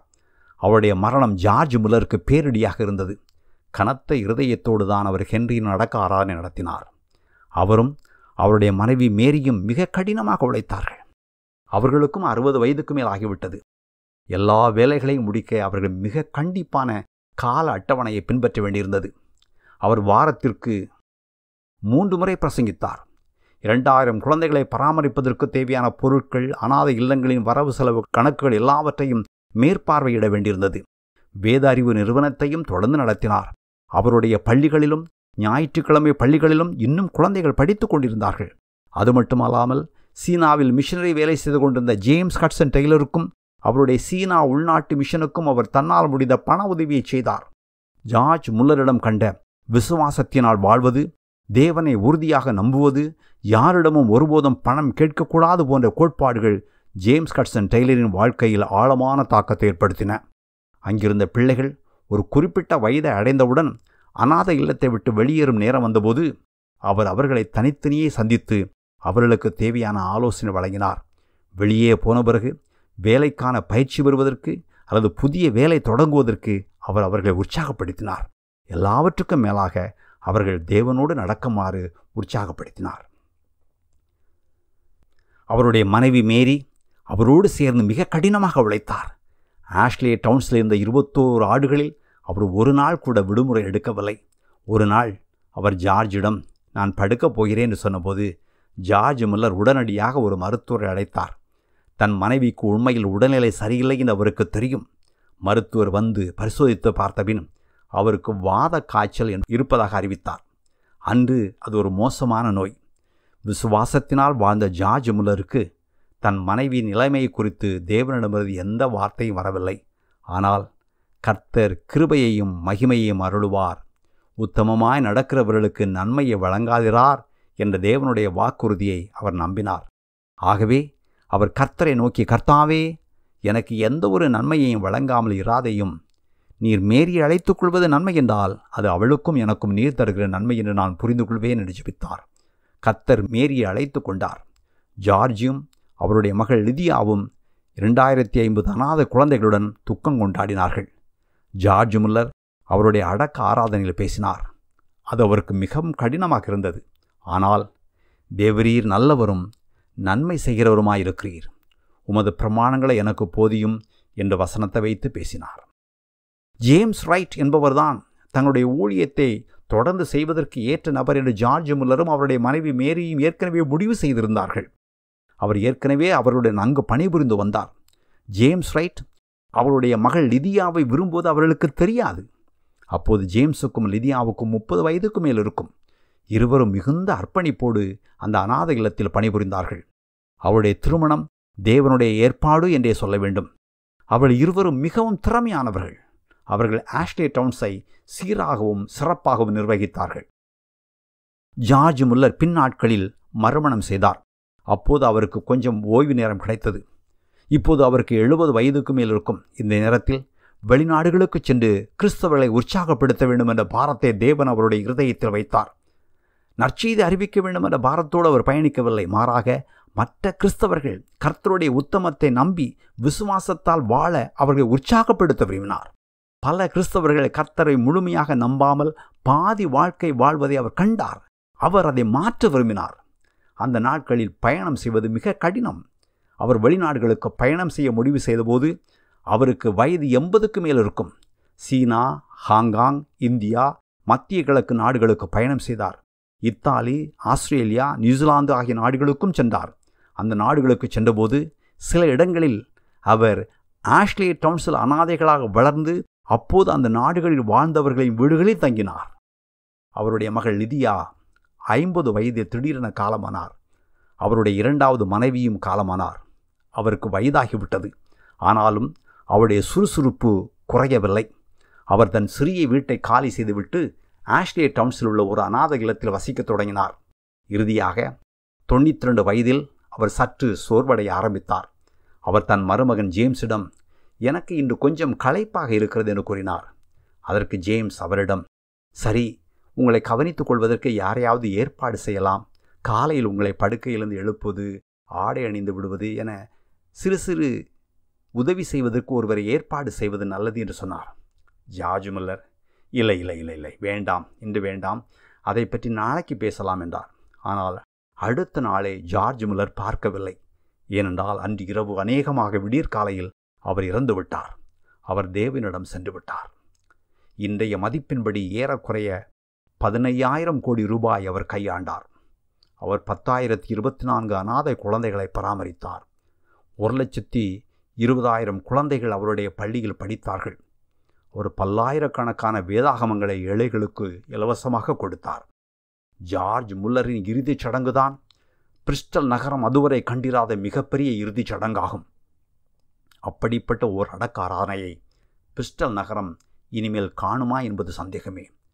இரண்டாயிரத்தி ஐம்பது அநாத குழந்தைகளும் வில்சன் தெருவிலிருந்த வீட்டில் வசித்த குழந்தைகளும் அவருடைய உடலை சுமந்து சென்ற வண்டிக்கு பின் பிரிஸ்டல் நகரத்துக்குள் நடந்து சென்றார்கள். பிரிஸ்டல் நகரத்தில் அவரால் தொடப்பட்ட மக்கள் அவருடைய இறுதி ஊர்வலத்தில் கலந்து கொண்டார்கள். பிரிஸ்டல் நகர மக்கள் அனைவரும் தெருக்களில் வரிசையாக நின்று அவருக்கு மரியாதை செலுத்தினார்கள். அந்த நகரமே ஸ்தம்பித்து விட்டது. அன்றைய ஒரு செய்தித்தாள் ஜார்ஜ் முல்லரை பற்றி ஜார்ஜ் முல்லர் கொடூரமான தெருக்களிலிருந்து அநாத குழந்தைகளை கொள்ளையடித்தவர். அவர் இந்த குழந்தைகளை எப்படி கொள்ளையடித்தார்? ஜபத்தின் மூலம் என்று எழுதியது. ஆனாலும் அவருடைய வாழ்க்கையை அவருடைய சொந்த வார்த்தைகளில் கேட்பது அதைவிட சிறந்தது. என் அன்பான கிறிஸ்தவனே நீ இந்த முறையை பயிற்சி செய்ய மாட்டாயா? உன் கவலைகளையும் பாரங்களையும் சுமைகளையும் தேவைகளையும் தேவன் மேல் வைத்து விடுவது எவ்வளவு அருமையானது! அதனால் வரும் மகிழ்ச்சி எவ்வளவு விலையேறப்பட்டது என்பதை நீ அறிய வேண்டாமா? இந்த வழி எனக்கு திறந்திருப்பது போல உனக்கும் திறந்திருக்கிறது. கர்த்தரை நம்பவும். முழு இருதயத்தோடு அவரை விசுவாசிக்கவும் உன் சுமைகளையெல்லாம் அவர் மேல் வைத்து விடவும் துன்பப்படும் நாளில் அவரை நோக்கி கூப்பிடுமாறும் தேவன் எல்லாரையும் அழைக்கிறார் எல்லாருக்கும் கட்டளையிடுகிறார். கிறிஸ்துவில் என் அன்பான சகோதரனே சகோதரியே இதை நீ செய்ய மாட்டாயா? நீ இதை செய்ய முடியும் என்றும் செய்ய வேண்டும் என்று நான் வாஞ்சிக்கிறேன். கஷ்டங்களும் தேவைகளும் சூழ்ந்திருந்தாலும் பரலோகத்தில் இருக்கும் உன் ஜீவனுள்ள பிதாவாகிய தேவன் உன்மேல் அக்கறையும் கரிசனையும் கொண்டவர் என்பதால் நீ சமாதானத்தோடு இருக்க முடியும். இப்படிப்பட்ட இருதயத்தின் இனிமையை நீ சுவைக்க வேண்டும் என்று நான் விரும்புகிறேன். ஆமேன்.